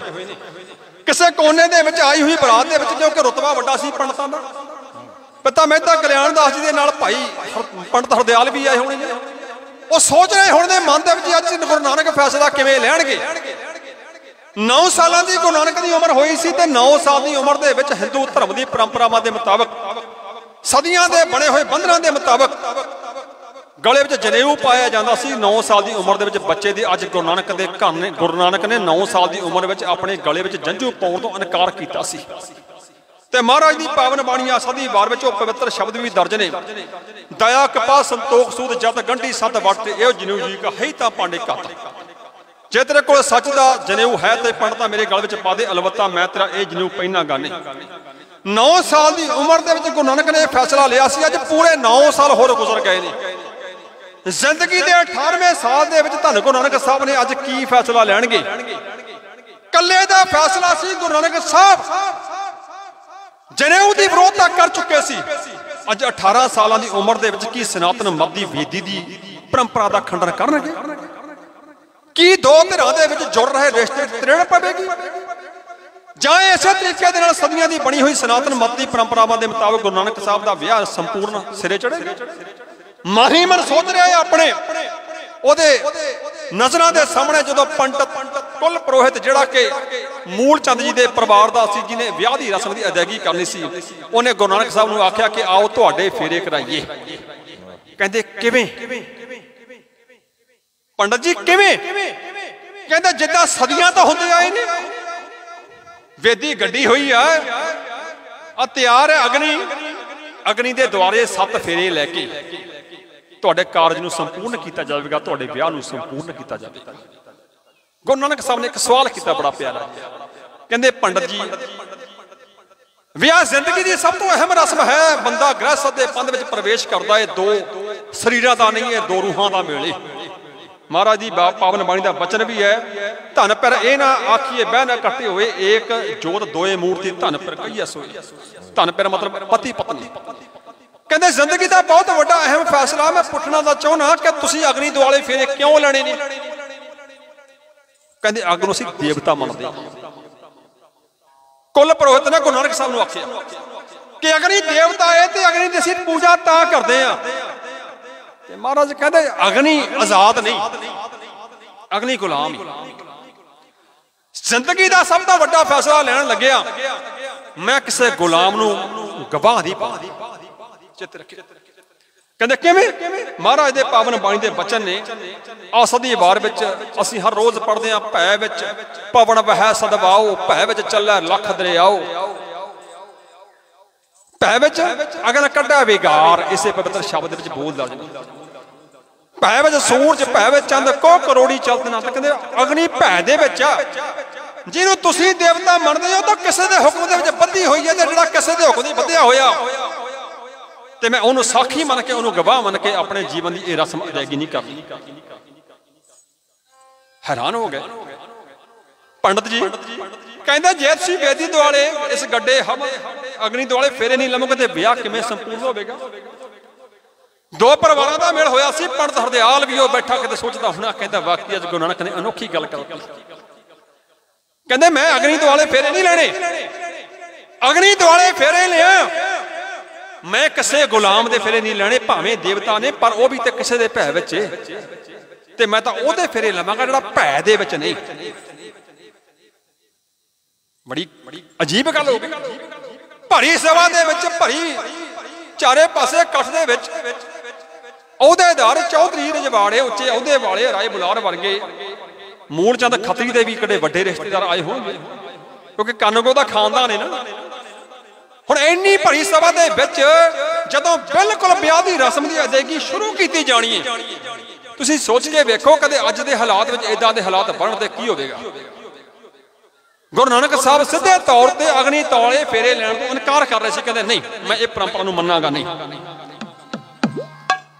ਚਾਰੇ ਪਾਸੇ ਕਾਨਾਫੂਸੀ ਹੋਣ ਲੱਗ ਪਈ ਗੱਲਾਂ ਹੋਣ ਲੱਗ ਪਈਆਂ। ਅੱਜ ਭਰੀ ਸਭਾ ਦੇ ਵਿੱਚ ਬਿਲਕੁਲ ਵਕਤ ਦੇ ਉੱਤੇ ਜੇ ਗੁਰੂ ਨਾਨਕ ਸਾਹਿਬ ਨੇ ਵਿਆਹ ਨਹੀਂ ਸੀ ਕਰਾਉਣਾ, ਜੇ ਸ਼ਾਦੀ ਦੀ ਰਸਮ ਦੇ ਕੀ ਨਹੀਂ ਸੀ ਕਰਨੀ, ਤੇ ਪਹਿਲਾਂ ਜਵਾਬ ਦੇ ਦਿੰਦੇ ਅੱਜ ਮੌਕੇ ਤੇ ਕਹਿੰਦੇ ਨੇ, ਮੈਂ ਅਗਨੀ ਦੁਆਲੇ, ਅਗਨੀ ਉਦਾਲੇ ਫੇਰੇ ਲੈਣੇ ਨਹੀਂ। ਤੇ ਫਿਰ ਵਿਆਹ ਮੁਕੰਮਲ ਕਿਵੇਂ ਹੋਵੇਗਾ, ਸ਼ਾਦੀ ਮੁਕੰਮਲ ਕਿਵੇਂ ਹੋਵੇਗੀ? ਤੇ ਜਿਹਦੇ ਘਰ ਵਿੱਚੋਂ ਕਦੇ ਬਰਾਤ ਵਾਪਸ ਚਲੀ ਜਾਵੇ, ਉਹਨਾਂ ਦੇ ਚਿਹਰੇ ਅਜੀਬ ਹੁੰਦੇ ਨੇ। ਕਹਿੰਦੇ, ਇਹ ਕਿਵੇਂ ਹੋ ਸਕਦਾ? ਤੁਸੀਂ ਜੇ ਵਿਆਹ ਕਰਾਉਣਾ ਹੈ ਤੇ ਵੇਦੀ ਦੁਆਲੇ ਫੇਰੇ ਲਾਣੇ ਪੈਣਗੇ ਤਾਂ ਤੁਸੀਂ ਅੱਜ ਇਨਕਾਰ ਕਰ ਰਹੇ ਹੋ ਵਿਆਹ ਤੋਂ ਕਹਿੰਦੇ ਨਹੀਂ, ਮੈਂ ਇਨਕਾਰ ਨਹੀਂ ਕਰ ਰਿਹਾ, ਮੈਂ ਸ਼ਾਦੀ ਕਰਾਂਗਾ। ਤੁਸਾਂ ਦੀ ਧੀ ਬਾਬਾ ਮੂਲ ਚੰਦ ਜੀ ਦੇ ਸਨਮੁਖ ਸੰਬੋਧਨ ਕਰਦੇ ਆਖਿਆ, ਮੈਂ ਕਿਸੇ ਨੂੰ ਇਨਕਾਰ ਨਹੀਂ ਕਰਾਂਗਾ, ਪਰ ਹਾਂ, ਮੈਂ ਅਗਨੀ ਦੁਆਲੇ ਫੇਰੇ ਨਹੀਂ ਲਵਾਂਗਾ। ਕਹਿੰਦੇ ਫਿਰ ਲੈਣੇ ਕਿਹਦੇ ਦੁਆਲੇ ਨੇ? ਤੁਸੀਂ ਅਗਨੀ ਤੋਂ ਦੇਵਤਾ ਮੰਨਦੇ ਨਹੀਂ, ਅਗਨੀ ਤੋਂ ਵੱਡਾ ਮੰਨਦੇ ਨਹੀਂ। ਕਹਿੰਦਾ ਮੈਂ ਉਹਨੂੰ ਮੰਨਦਾ। ਕਹਿੰਦੇ ਤੁਸੀਂ ਕਿਹਨੂੰ ਮੰਨਦੇ ਹੋ? ਸਗਲਿਆ ਭਉ ਲਿਖਿਆ ਸਰ ਲੇਖ ਮਹਾਰਾਜ ਦੇ ਪਾਵਨ ਬਾਣੀ ਦੇ ਬਚਨ ਨੇ ਉਸੇ ਸ਼ਬਦ ਦੇ ਵਿੱਚ ਭੈ ਵਿੱਚ ਸੂਰਜ ਭੈ ਵਿੱਚ ਚੰਦ। ਕਹਿੰਦੇ ਸਗਲਿਆ ਭਉ ਲਿਖਿਆ ਸਰ ਲੇਖ ਨਾਨਕ ਨਿਰਭਉ ਨਿਰੰਕਾਰ। ਸੱਚ। ਸੱਚ। ਕਹਿੰਦਾ ਜਿਹੜਾ ਭੈ ਵਿੱਚ ਨਹੀਂ ਮੈਂ ਉਹਦੀ ਪੂਜਾ ਕਰਦਾ ਸਾਹਿਬ ਮੇਰਾ ਇੱਕੋ ਹੈ। ਇੱਕੋ ਇੱਕੋ ਹੈ ਭਾਈ। ਇੱਕੋ ਹੈ। ਕਹਿੰਦੇ ਮੇਰੇ ਦੋ ਸਾਹਿਬ ਨਹੀਂ। ਮੈਂ ਅਗਰੀ ਦੀ ਪੂਜਾ ਨਹੀਂ ਕਰਦਾ ਮੈਂ ਰੱਬ ਦੀ ਪੂਜਾ ਕਰਦਾ। ਮੈਂ ਰੱਬ ਨੂੰ ਸਾਖੀ ਮੰਨ ਕੇ, ਰੱਬ ਨੂੰ ਗਵਾਹ ਮੰਨ ਕੇ, ਰੱਬ ਨੂੰ ਸਨਮੁਖ ਰੱਖ ਕੇ ਹੀ ਆਪਣੇ ਫੇਰੇ ਕਰਵਾਵਾਂਗਾ, ਆਨੰਦ ਕਰਾਵਾਂਗਾ, ਵਿਆਹ ਕਰਵਾਵਾਂਗਾ, ਪਰਿਕਰਮਾ ਕਰਾਂਗਾ, ਮੈਂ ਉਦੋਂ ਬਿਨਾਂ ਕਿਸੇ ਚੀਜ਼ ਨੂੰ ਮੰਨਦਾ ਨਹੀਂ। ਚਾਰੇ ਪਾਸੇ ਲੋਕੀ ਹੈਰਾਨ ਵੀ ਹੋ ਗਏ ਤੇ ਕੁਝ ਰੱਬ ਦੇ ਰੰਗ ਵਿੱਚ ਰਤੇ ਆਸ਼ ਆਸ਼ ਵੀ ਕਰੇ ਉੱਠੇ। ਪੰਡਤ ਹਰਦਿਆਲ ਵਰਗੇ ਗੁਰੂ ਨਾਨਕ ਸਾਹਿਬ ਨੂੰ 9 ਸਾਲ ਦੀ ਜੀਵਨ ਦੇ ਵਿੱਚ ਦੁਨੀਆ ਦੇ ਵਿੱਚ ਅਨੋਖਾ ਬਾਲਕ ਜਾਣ ਸਕੇ ਸੀ ਤੇ ਅੱਜ ਫਿਰ 18 ਸਾਲ ਦੀ ਉਮਰ ਦੇ ਵਿੱਚ ਉਹਨਾਂ ਦੀ ਜ਼ਿੰਦਗੀ ਦੇ ਸਭ ਤੋਂ ਅਹਿਮ ਪੜਾਅ ਦੇ ਉੱਤੇ ਗੁਰੂ ਨਾਨਕ ਸਾਹਿਬ ਦੇ ਲਏ ਹੋਏ ਫੈਸਲੇ ਨੂੰ ਮਨੋ ਮਨੀ ਹੋਈ ਸਤਿਕਾਰ ਦੇਣ ਲੱਗੇ ਸ਼ੁਕਰੀਆ ਅਦਾ ਕਰਦੇ ਨੇ ਕਿ ਮਾਲਕ ਸੱਚਮੁੱਚ ਅੱਜ ਬਹੁਤ ਲੋਕ ਨੇ ਜਿਹੜੇ ਕਹਿਣਾ ਚਾਹੁੰਦੇ ਨੇ ਕਿ ਸਿੱਖ ਕੇਸਾ ਧਾਰੀ ਹਿੰਦੂ ਨੇ ਪਰ ਚੇਤੇ ਰੱਖਿਓ, ਸਿੱਖ ਕੌਮ ਦੇ ਬਾਨੀ। ਧੰਨ ਗੁਰੂ ਨਾਨਕ ਸਾਹਿਬ ਨੇ 9 ਸਾਲਾਂ ਦੀ ਉਮਰ ਵਿੱਚ ਜਨੇਊ ਦਾ ਖੰਡਨ ਕੀਤਾ। 18 ਸਾਲਾਂ ਦੀ ਉਮਰ ਵਿੱਚ ਵੇਦੀ ਦਾ ਖੰਡਨ ਕੀਤਾ ਤੇ ਚੇਤੇ ਰੱਖਿਓ, ਕੋਈ ਇਨਸਾਨ ਕਿਹੜਾ ਧਰਮ ਨਾਲ ਸੰਬੰਧ ਰੱਖਦਾ? ਉਹਦੀਆਂ ਜੀਵਨ ਦੀਆਂ ਕੁਝ ਗੱਲਾਂ ਹੀ ਤੈਅ ਕਰਦੀਆਂ ਨੇ, ਜੇ ਮੁਸਲਮਾਨ ਧਰਮ ਵਿੱਚ ਕੋਈ ਜਨਮ ਲੈਂਦਾ ਤੇ ਸੁਨਤ ਨਿਕਾਹ ਦੇ ਕਰਕੇ ਉਹਨੂੰ ਮੁਸਲਮਾਨ ਜਾਣਿਆ ਜਾਂਦਾ। ਉਹਦਾ ਨਿਕਾਹ, ਉਹਦੀ ਸੁਨਤ ਦੋ ਚੀਜ਼ਾਂ ਪ੍ਰਤੱਖ ਨੇ, ਭਾਵ ਉਹ ਮੁਸਲਮਾਨਾਂ ਦੇ ਘਰ ਵਿੱਚ ਜਨਮ ਲੈਂਦਾ, ਜੇ ਕੋਈ ਬੱਚਾ ਹਿੰਦੂਆਂ ਦੇ ਘਰ ਵਿੱਚ ਜਨਮ ਲੈਂਦਾ, ਉਹਦਾ ਮੁੰਡਨ ਕੀਤਾ ਜਾਂਦਾ, ਉਹਦੇ ਜਨੇਊ ਪਹਿਨਿਆ ਜਾਂਦਾ, ਅਗਨੀ ਦਿਵਾਲੇ ਫੇਰੇ ਲੈ ਕੇ। ਉਹਦੇ ਵਿਆਹ ਕਰ ਸੰਪੂਰਨ ਕੀਤੇ ਜਾਂਦੇ ਨੇ, ਇਸੇ ਤਰੀਕੇ ਨਾਲ ਹੋਰ ਧਰਮਾਂ ਦੀਆਂ ਮਰਜ਼ਾਦਾ ਨੇ, ਗੁਰੂ ਨਾਨਕ ਦੇ ਘਰ ਦੀ ਮਰਜ਼ਾਦਾ ਗੁਰੂ ਗ੍ਰੰਥ ਸਾਹਿਬ ਮਹਾਰਾਜ ਤੋਂ ਸਵਾ ਕਿਸੇ ਹੋਰ ਨਾਲ ਜੁੜਦੀ ਨਹੀਂ ਤੇ ਕੋਈ ਕਿਵੇਂ ਸਾਨੂੰ ਕਹਿ ਸਕਦਾ ਕਿ ਸਿੱਖ ਕੇਸਾ ਤਾਰੀ ਹਿੰਦੂ ਨੇ? ਧੰਨ ਗੁਰੂ ਨਾਨਕ ਸਾਹਿਬ ਆਪਣੇ ਜੀਵਨ ਦੇ 18ਵੇਂ ਸਾਲ ਦੇ ਵਿੱਚ, ਅੱਜ ਤੋਂ ਪੂਰੇ ਲਗਭਗ 535 36 ਸਾਲ ਪਹਿਲਾਂ ਇਹ ਇਤਿਹਾਸਕ ਘਟਨਾ ਘਟੀ ਸੀ 37 ਸਾਲ ਪਹਿਲਾਂ। ਧੰਨ ਗੁਰੂ ਨਾਨਕ ਸਾਹਿਬ ਕਹਿੰਦੇ, ਮੈਂ ਅਗਨੀ ਦੁਆਲੇ ਫੇਰੇ ਨਹੀਂ ਲੈਣੇ, ਮੈਂ ਉਹਦੇ ਦੁਆਲੇ ਫੇਰੇ ਲਵਾਂਗਾ, ਜਿਹੜਾ ਸਾਰੀ ਦੁਨੀਆ ਨੂੰ ਚਲਾਉਂਦਾ। ਮੈਂ ਉਹਦੇ ਦੁਆਲੇ ਫੇਰੇ ਲਵਾਂਗਾ ਜਿਹੜਾ ਕਣ ਕਣ ਬਨ ਬਨ ਪੱਤ ਪੱਤ ਵਿੱਚ ਵਸਿਆ ਹੋਇਆ, ਮੈਂ ਉਹਦੇ ਦੁਆਲੇ ਫੇਰੇ ਲਵਾਂਗਾ, ਜਿਹੜਾ ਸਾਰੀ ਦੁਨੀਆ ਨੂੰ ਘਮਾਉਂਦਾ ਏ, ਜਿਹਦੇ ਅੱਗੇ ਸਾਰੀ ਦੁਨੀਆ ਝੁਕਦੀ ਏ, ਜਿਹੜਾ ਦੁਨੀਆ ਦੇ ਜ਼ਰਰੇ ਜ਼ਰਰੇ ਵਿੱਚ ਵਸਿਆ ਹੋਇਆ। ਧੰਨ ਗੁਰੂ ਨਾਨਕ ਸਾਹਿਬ ਦੇ ਇਹ ਪਵਿੱਤਰ ਬੋਲ ਸੁਣ ਕੇ ਮੌਕੇ ਦੇ ਕੁੱਲ ਪੁਰੋਹਿਤ ਨੇ ਆਖਿਆ, ਜਿਹੜੀ ਗੱਲ ਕਹੀਏ ਇਤਿਹਾਸਕ ਪੰਨਿਆਂ ਦੇ ਉੱਤੇ ਕੁੱਲ ਪੁਰੋਹਿਤ ਦੀ ਲਿਖੀ ਤੇ ਗੱਲ ਦਾ ਵਰਣਨ ਭੁਹੀੜ ਵਾਲਿਆਂ ਦਾ ਢਾਡੀ ਜੱਥਾ ਹੇ। ਕਿਉਂ ਕਹਿੰਦਾ ਗੁਰੂ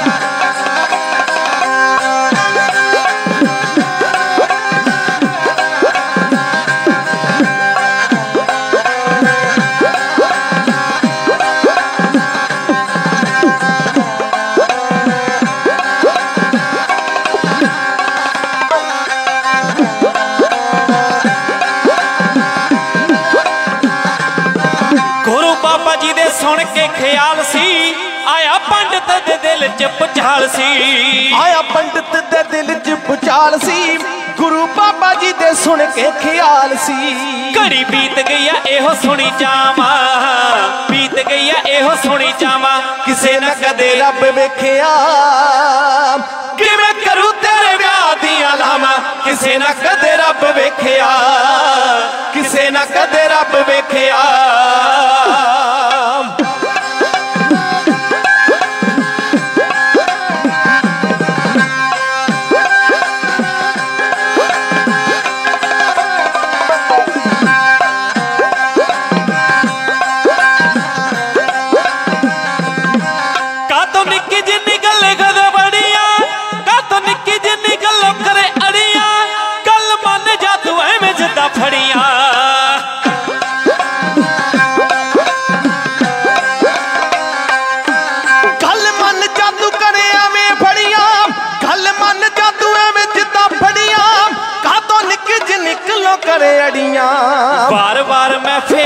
ਸਮਝਾਵਾਂ ਬਾਰ ਮੈਂ ਫੇਰ ਸਮਝਾਵਾਂ ਕਿਸੇ ਨਾ ਕਦੇ ਰੱਬ ਵੇਖਿਆ।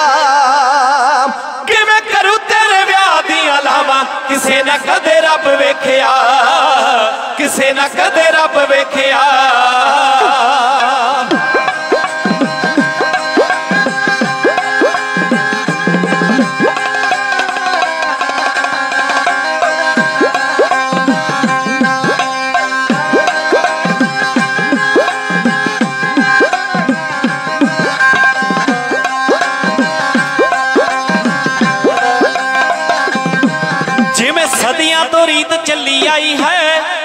ਸਦੀਆਂ ਤੋਂ ਰੀਤ ਚੱਲੀ ਆਈ ਹੈ ਓਵੇਂ ਸਦਾਈ ਇਹ ਰਸਮ ਨਿਭਾਈ ਹੈ। ਹੋਵੇਂ ਸਦਾ ਹੀ ਇਹ ਰਸਮ ਨਿਭਾਈ ਹੈ ਜਿਵੇਂ ਸਦੀਆਂ ਤੋਂ ਰੀਤ ਚੱਲੀ ਆਈ ਹੈ। ਮੈਂ ਤਾਂ ਅੱਗ ਨਾਲ ਫੇਰ ਕਰਵਾਵਾਂ ਅੱਗ ਨਾਲ ਫੇਰ ਕਰਵਾਵਾਂ। ਕਿਸੇ ਨਾ ਕਦੇ ਰੱਬ ਵੇਖਿਆ।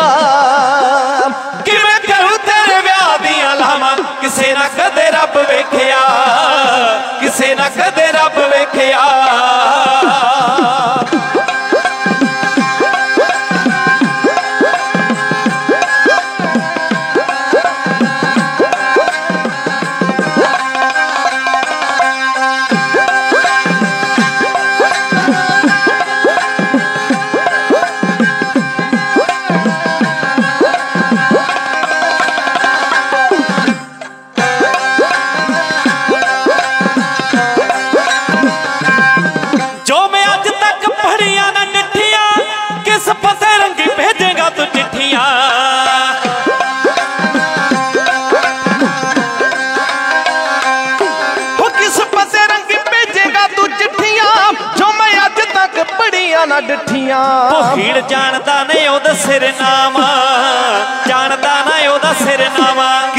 ਕਦੇ ਰੱਬ ਵੇਖਿਆ।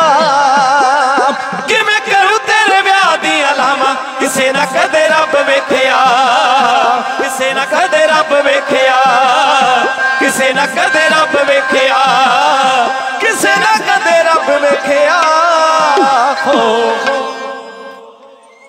ਕੱਲੇ ਕੱਲੇ ਵਿੱਚ ਉਸ ਦੇ ਸਰੂਪ ਨੇ। ਪੰਡਤ ਕਹਿਣ ਲੱਗਿਆ, ਕੱਲੇ ਕੱਲੇ ਵਿੱਚ ਉਸ ਦੇ ਸਰੂਪ ਨੇ, ਪੰਜ ਤੱਤ ਵੀ ਦਾ ਰੱਬ ਦਾ ਹੀ ਰੂਪ ਨੇ। ਜਿਵੇਂ ਬੰਦੇ ਨਾਲ ਉਹਦਾ ਪਰਛਾਵਾਂ, ਕਿਸੇ ਨਹੀਂ ਕਦੇ ਰੱਬ ਵੇਖਿਆ ਕਿਵੇਂ ਕਰੂ ਤੇਰੇ ਵਿਆਹ ਦੀਆਂ ਲਾ ਕਿਉਂਕਿ ਸਦੀਆਂ ਤੋਂ ਬਣੀ ਹੋਈ ਪਰੰਪਰਾਵਾਂ ਦੇ ਮੁਤਾਬਕ ਪੰਡਤ ਹਰਦਿਆਲ ਚਾਹੁੰਦਾ ਨਹੀਂ ਸੀ ਕਿ ਉਹਦੀ ਦਸ਼ਣਾ ਦੇ ਵਿੱਚ ਕੋਈ ਵਿਘਨ ਪਵੇ।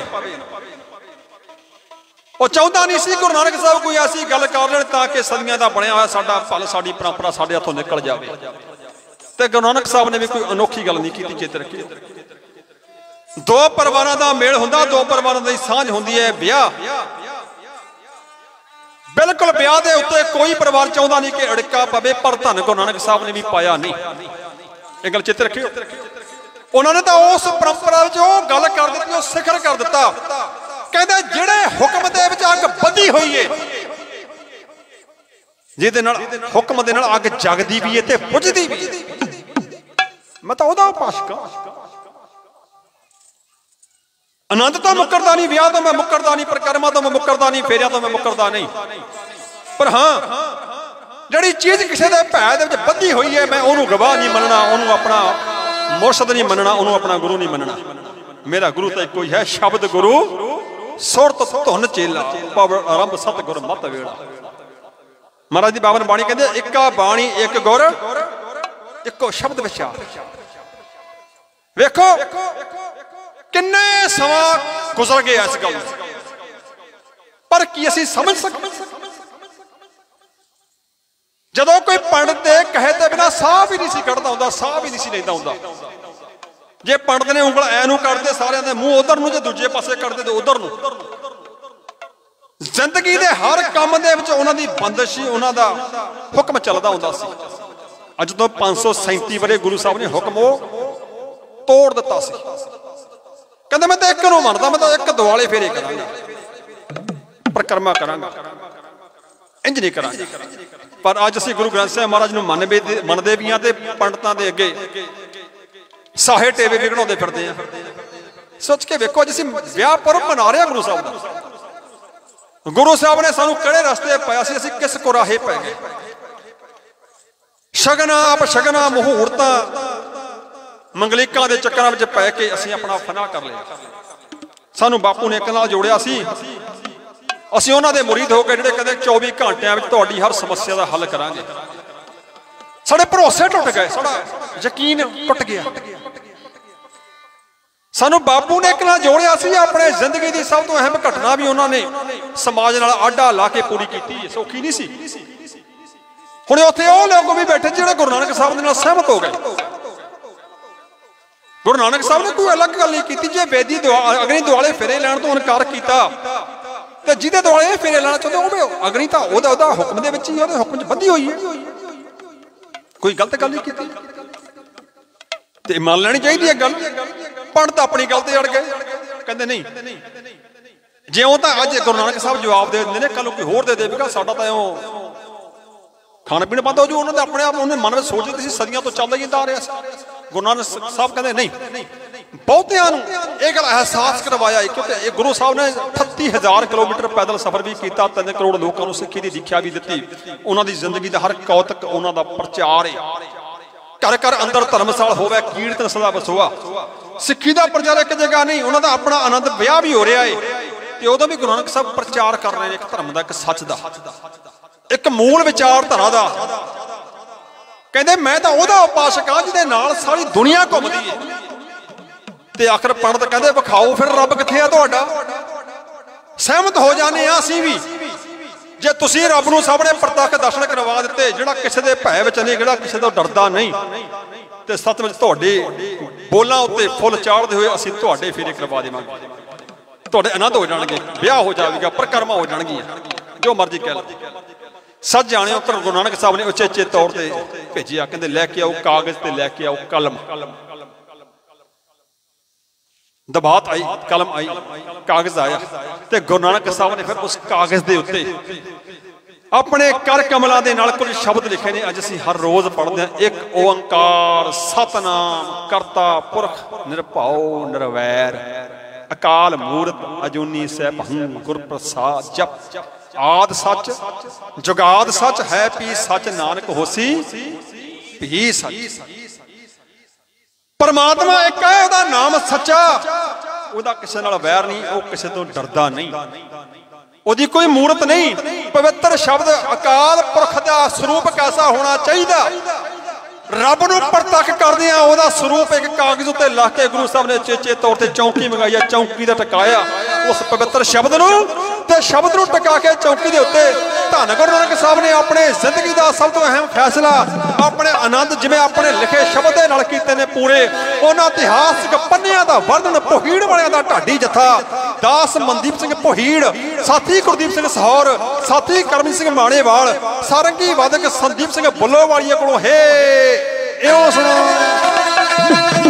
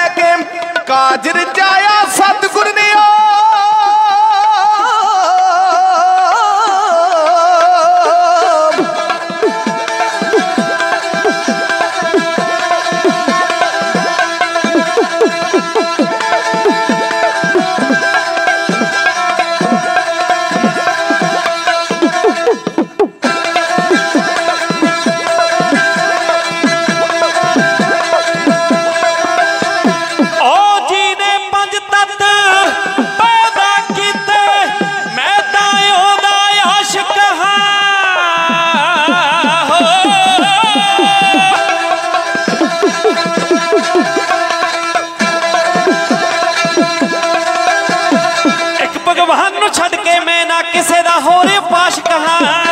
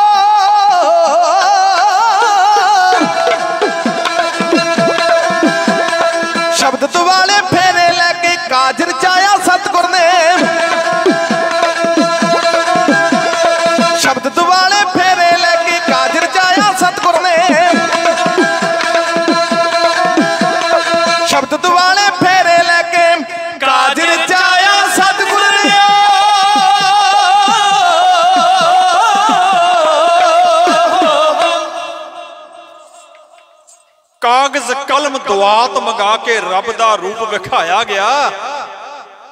ਮੂਲ ਮੰਤਰ ਲਿਖ ਕੇ ਸੀ, ਜਦ ਚੌਕੀ ਉੱਤੇ ਟਕਾਇਆ ਗਿਆ। ਭੀੜ ਨਗੀਆਂ ਵਿਆਹ ਦਾ ਕਾਰਜ ਸਿਰੇ ਚੜਾਇਆ ਸਤਗੁਰ ਨੇ। ਸ਼ਬਦ ਵਾਲੇ ਲਾਵਾਂ ਲੈ ਕੇ ਕਾਜ ਰਚਾਇਆ ਸਤਗੁਰ। ਦੁਨੀਆ ਨੂੰ ਦੱਸ ਗਏ ਕਿ ਇੱਕ ਦਾ ਮੁਰੀਦ ਸੀ, ਇੱਕ ਦਾ ਮੁਰੀਦ ਹਾਂ। ਤੇ ਇੱਕ ਦਾ ਮੁਰੀਦ ਰਬਾ ਆਦ ਸੱਚ, ਉਹਦਾ ਮੁਰੀਦ ਉਹ ਰੱਬ ਹੈ, ਉਹ ਜ਼ਰਰੇ ਜ਼ਰਰੇ ਵਿੱਚ ਵਸਦਾ। ਉਹ ਕਿਸੇ ਦੇ ਭੈ ਵਿੱਚ ਨਹੀਂ। ਇਹ ਉਹਦਾ ਸਰੂਪ ਆ ਜਿਹੜਾ ਆਦ ਸੱਚ। ਇਹ ਪਹਿਲਾਂ ਵੀ ਸੱਚ ਸੀ, ਜੁਗਾਦ ਸੱਚ। ਜੁਗਾਂ ਤੋਂ ਵੀ ਇਹ ਸੱਚ ਹੈ। ਹੈ ਵੀ ਸੱਚ। ਹੈਗਾ ਵੀ ਸੱਚ। ਤੇ ਨਾਨਕ ਹੋਸੀ ਵੀ ਸੱਚ। ਇਹ ਸੱਚ ਰਹੇਗਾ। ਗੁਰੂ ਨਾਨਕ ਸਾਹਿਬ ਨੇ ਇੱਕ ਓੰਕਾਰ ਦੀ ਗੱਲ ਕੀਤੀ ਤੇ ਸਾਨੂੰ ਵੀ ਇੱਕ ਓੰਕਾਰ ਦੇ ਲੜ ਲਾਇਆ, ਦਰ ਦਰ ਤੇ ਭਟਕਣ ਵਾਲਿਆਂ ਦੇ ਲੜ ਨਹੀਂ ਲਾਇਆ। ਅਸੀਂ ਇੱਕ ਦੇ ਮੁਰੀਦ ਆ, ਗੁਰੂ ਨਾਨਕ ਸਾਹਿਬ ਨੇ ਜਿਹੜੀ ਵਿਚਾਰਧਾਰਾ ਦੁਨੀਆ ਦੇ ਉੱਤੇ ਸ਼ੁਰੂ ਕੀਤੀ, ਆਪਣਾ ਆਨੰਦ ਵਿਆਹ ਵੀ ਉਸੇ ਪਰੰਪਰਾਵਾਂ ਦੇ ਨਾਲ ਪੂਰਿਆਂ ਕੀਤਾ। ਤੇ ਦੁਖੀਆਂ ਨੇ ਫਿਰ ਇਤਿਹਾਸ ਦੇ ਪੰਨੇ ਕਹਿੰਦੇ ਨੇ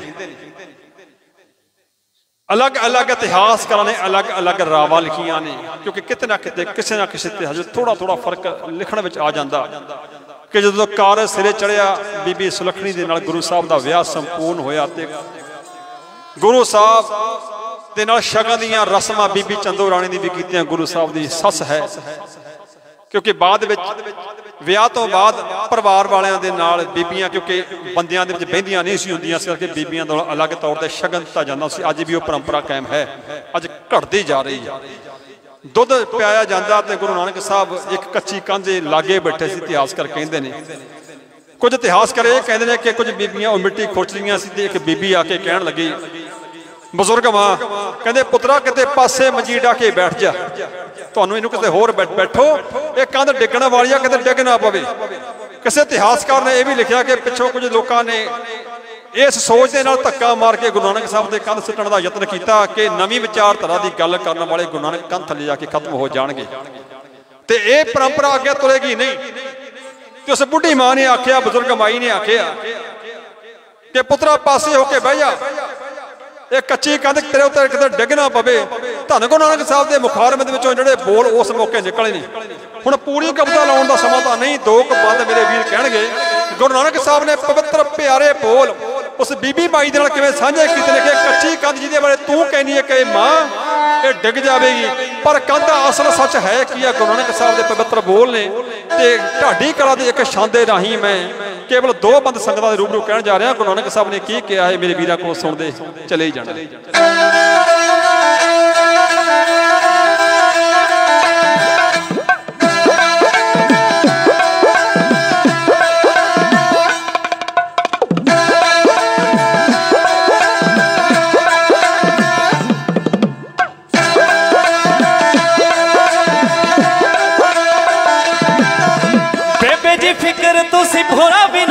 ਨਾ ਕਰਨਾ ਵੇਖ ਕੇ ਕੱਚੀ ਕੰਧ ਜਰਾ ਵੀ ਨਾ ਡਰਨਾ। ਬੇਬੇ ਜੀ ਫਿਕਰ ਤੁਸੀਂ ਭੋਰਾ ਵੀ ਨਾ ਕਰਨਾ। ਵੇਖ ਕੇ ਕੱਚੀ ਕੰਧ ਜਰਾ ਵੀ ਨਾ ਡਰਨਾ। ਇਹ ਤਾਂ ਆਪਣੀ ਕਹਾਣੀ ਖੁਦ ਕਹੂਗੀ। ਕਦੇ ਨਾ ਇਹ ਕੱਚੀ ਕੰਧ ਡਿੱਗਣੀ। ਬਣ ਵਿਆਹ ਦੀ ਨਿਸ਼ਾਨੀ ਖੜੀ ਰਹੂਗੀ। ਕਦੇ ਨਾ ਇਹ ਕੱਚੀ ਕੰਧ ਡਿੱਗਣੀ। ਵਿਆਹ ਦੀ ਨਿਸ਼ਾਨੀ ਖੜੀ ਰਹੂਗੀ।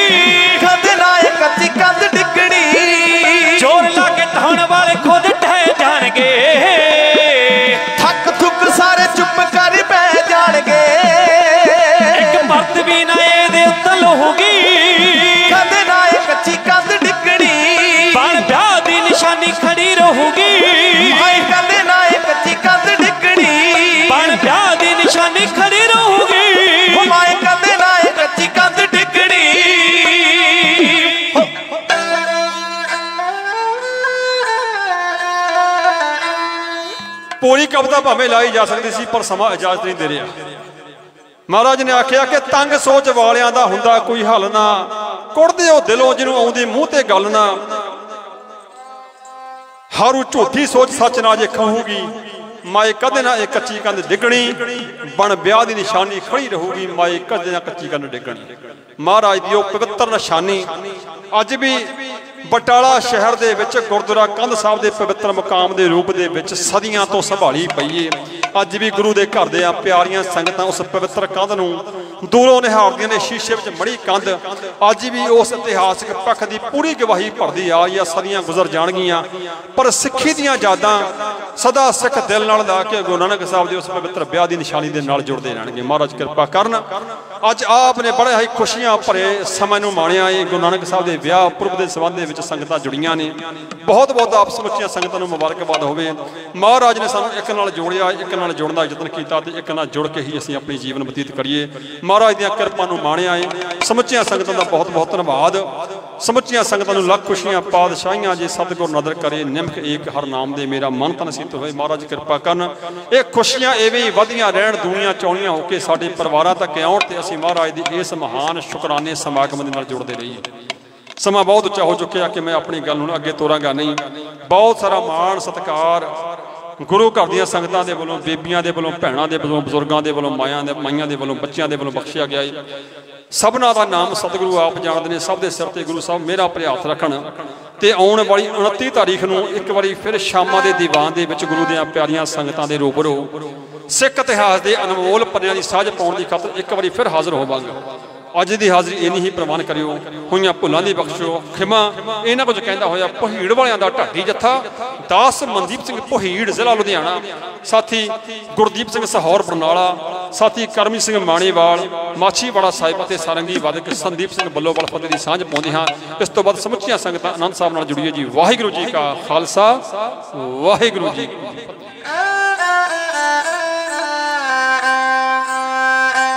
ਰਾਮ ਕਲੀ ਮਹਲਾ ਤੀਜਾ।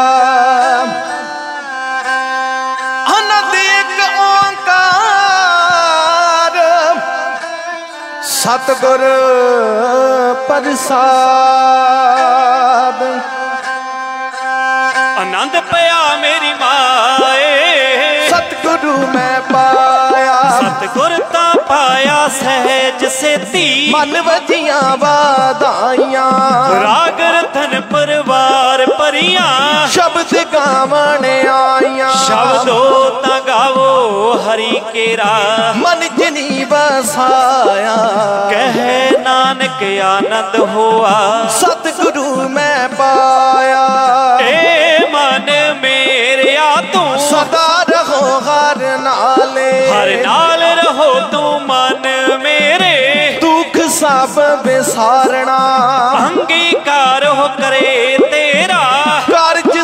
ਸਭ ਸਵਾਰਣਾ ਸਭਨਾ ਗੱਲਾਂ ਸਮਰੱਥ ਸੁਆਮੀ। ਸੋ ਕਿਉ ਮਨ ਹੋਵੇ ਸਾਰੇ? ਕਹੇ ਨਾਨਕ ਮਨ ਮੇਰੇ। ਸਦਾ ਰਹੋ ਹਰ ਨਾਲੇ। ਸਾਚੇ ਸਾਹਿਬਾ। ਕਿਆ ਨਹੀਂ ਕਰ ਤੇਰੇ ਘਰ ਤਾਂ ਤੇਰਾ ਸਭ ਕਿਛ ਹੈ। ਜਿਸ ਦੇਗੇ ਸੋ ਪਾਵੇ। ਸਦਾ ਸਿਫਤ ਸਲਾਹ ਤੇਰੀ। ਨਾਮ ਮਨ ਵਸਾਵੇ। ਨਾਮ ਜਿਨ ਕੈ ਮਨ ਵਸਿਆ। ਬਾਜੇ ਸ਼ਬਦ ਕਨੇਰੇ। ਕਹੇ ਨਾਨਕ ਸੱਚੇ ਸਾਹਿਬ। ਕਿਆ ਨਹੀਂ ਕਰ ਤੇਰੇ ਸਾਚਾ ਨਾਮ ਮੇਰਾ ਆਧਾਰੋ। ਸੱਚ ਨਾਮ ਆਧਾਰ ਮੇਰਾ ਜਿਨ। ਭੁੱਖਾ ਸਭ ਗਵਾਈਆਂ। ਕਰ ਸ਼ਾਂਤ ਸੁਖ ਮਨ ਆਏ ਵਸਿਆ ਇੱਛਾ ਸਭ ਪੁਜਾਈਆਂ। ਸਦਾ ਕੁਰਬਾਨ ਕੀਤਾ ਗੁਰ ਵਿਟਹੋ ਜਿਸ ਦੀਆਂ ਇਹ ਵਡਿਆਈਆਂ। ਕਹੇ ਨਾਨਕ ਸੁਣੋ ਸੰਤ ਹੋ। ਸ਼ਬਦ ਤਰੋ ਪਿਆਰੋ। ਸਾਚਾ ਨਾਮ ਮੇਰਾ ਆਧਾਰੋ। ਬਾਜੇ ਪੰਜ ਸ਼ਬਦ ਦਿੱਤ। ਘਰ ਸਪਾਗੈ ਘਰ ਸੁਭਾਗੈ ਸ਼ਬਦ ਵਾਜੇ ਕਲਾ ਜਿਤ ਘਰ ਤਾਰਿਆ ਪੰਜ ਦੂਤ ਤੁਧ ਵਸ ਕੰਟ ਕੁਮਾਰਿਆ। ਧੁਰ ਕਰਮ ਪਾਇਆ ਤੁਧ ਜਿਨ ਕੋ ਸੇ ਨਾਮ ਹਰਿ ਕਹਿ ਲਾਗੇ। ਕਹੇ ਨਾਨਕ ਤਹਿ ਸੁਖ ਹੋਆ। ਤਿਤ ਕਰ ਅਨਹਦ ਵਾਗੇ। ਅਨੰਦ ਸੁਣੋ ਬੜ ਭਾਗੀ ਹੋ। ਸਗਲ ਮਨੋਰਥ ਪੂਰੇ। ਪਾਰ ਬ੍ਰਹਮ ਪ੍ਰਭ ਪਾਇਆ। ਉਤਰੇ ਸਗਲ ਬਸੂਰੇ ਦੁਖ ਰੋਗ ਸੰਤਾਪ ਉਤਰੇ। ਸੱਚੀ ਬਾਣੀ। ਸੰਤ ਸਾਜਨ ਭੈ ਸਰਸੇ ਪੂਰੇ ਗੁਰ ਤੇ ਜਾਣੀ। ਸੁਣਤੇ ਪੁਨੀਤ ਕਹਤੇ ਪਵਿੱਤ ਸਤ। ਗੁਰ ਰਖਿਆ ਪਰ ਪੂਰੇ। ਬਿਨਵੰਤ ਨਾਨਕ ਗੁਰ ਚਰਨ ਲਾਗੇ। ਬਾਜੇ ਅਨਹਦ ਤੂਰ ਸਲੋਕ। ਪਵਨ ਗੁਰੂ ਪਾਣੀ ਪਿਤਾ। ਮਾਤਾ ਤਰਤਾ ਮਹਾਤ। ਦਿਵਸ ਰਾਤ ਦੋਏ ਦਾਈ ਦਾਇਆ। ਖੇਲੇ ਸਗਲ ਜਗਤ। ਚੰਗਿਆਈਆਂ ਬੁਰਿਆਈਆਂ ਬਾਜੇ ਧਰਮ ਹਦੂਰ। ਕਰਮੀ ਆਪੋ ਆਪਣੀ। ਕੇ ਨੇੜੇ ਕੇ ਦੂਰ। ਜਿਨੀ ਨਾਮ ਤੇ ਆਇਆ। ਗਏ ਮਸਕਤ ਕਾਲ। ਨਾਨਕ ਤੇ ਮੁਖ ਉਜਲੇ। ਕੀਤੀ ਛੁੱਟੀ ਨਾਲ।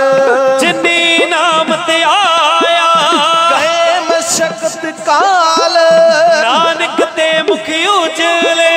ਕੀਤੀ ਛੁੱਟੀ ਨਾਲ।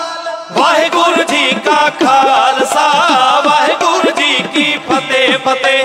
ਵਾਹਿਗੁਰੂ ਜੀ ਕਾ ਖਾਲਸਾ ਵਾਹਿਗੁਰੂ ਜੀ ਕੀ ਫਤਿਹ ਫਤਿਹ। ਵਾਹਿਗੁਰੂ ਜੀ ਕਾ ਖਾਲਸਾ ਵਾਹਿਗੁਰੂ ਜੀ ਕੀ ਫਤਿਹ।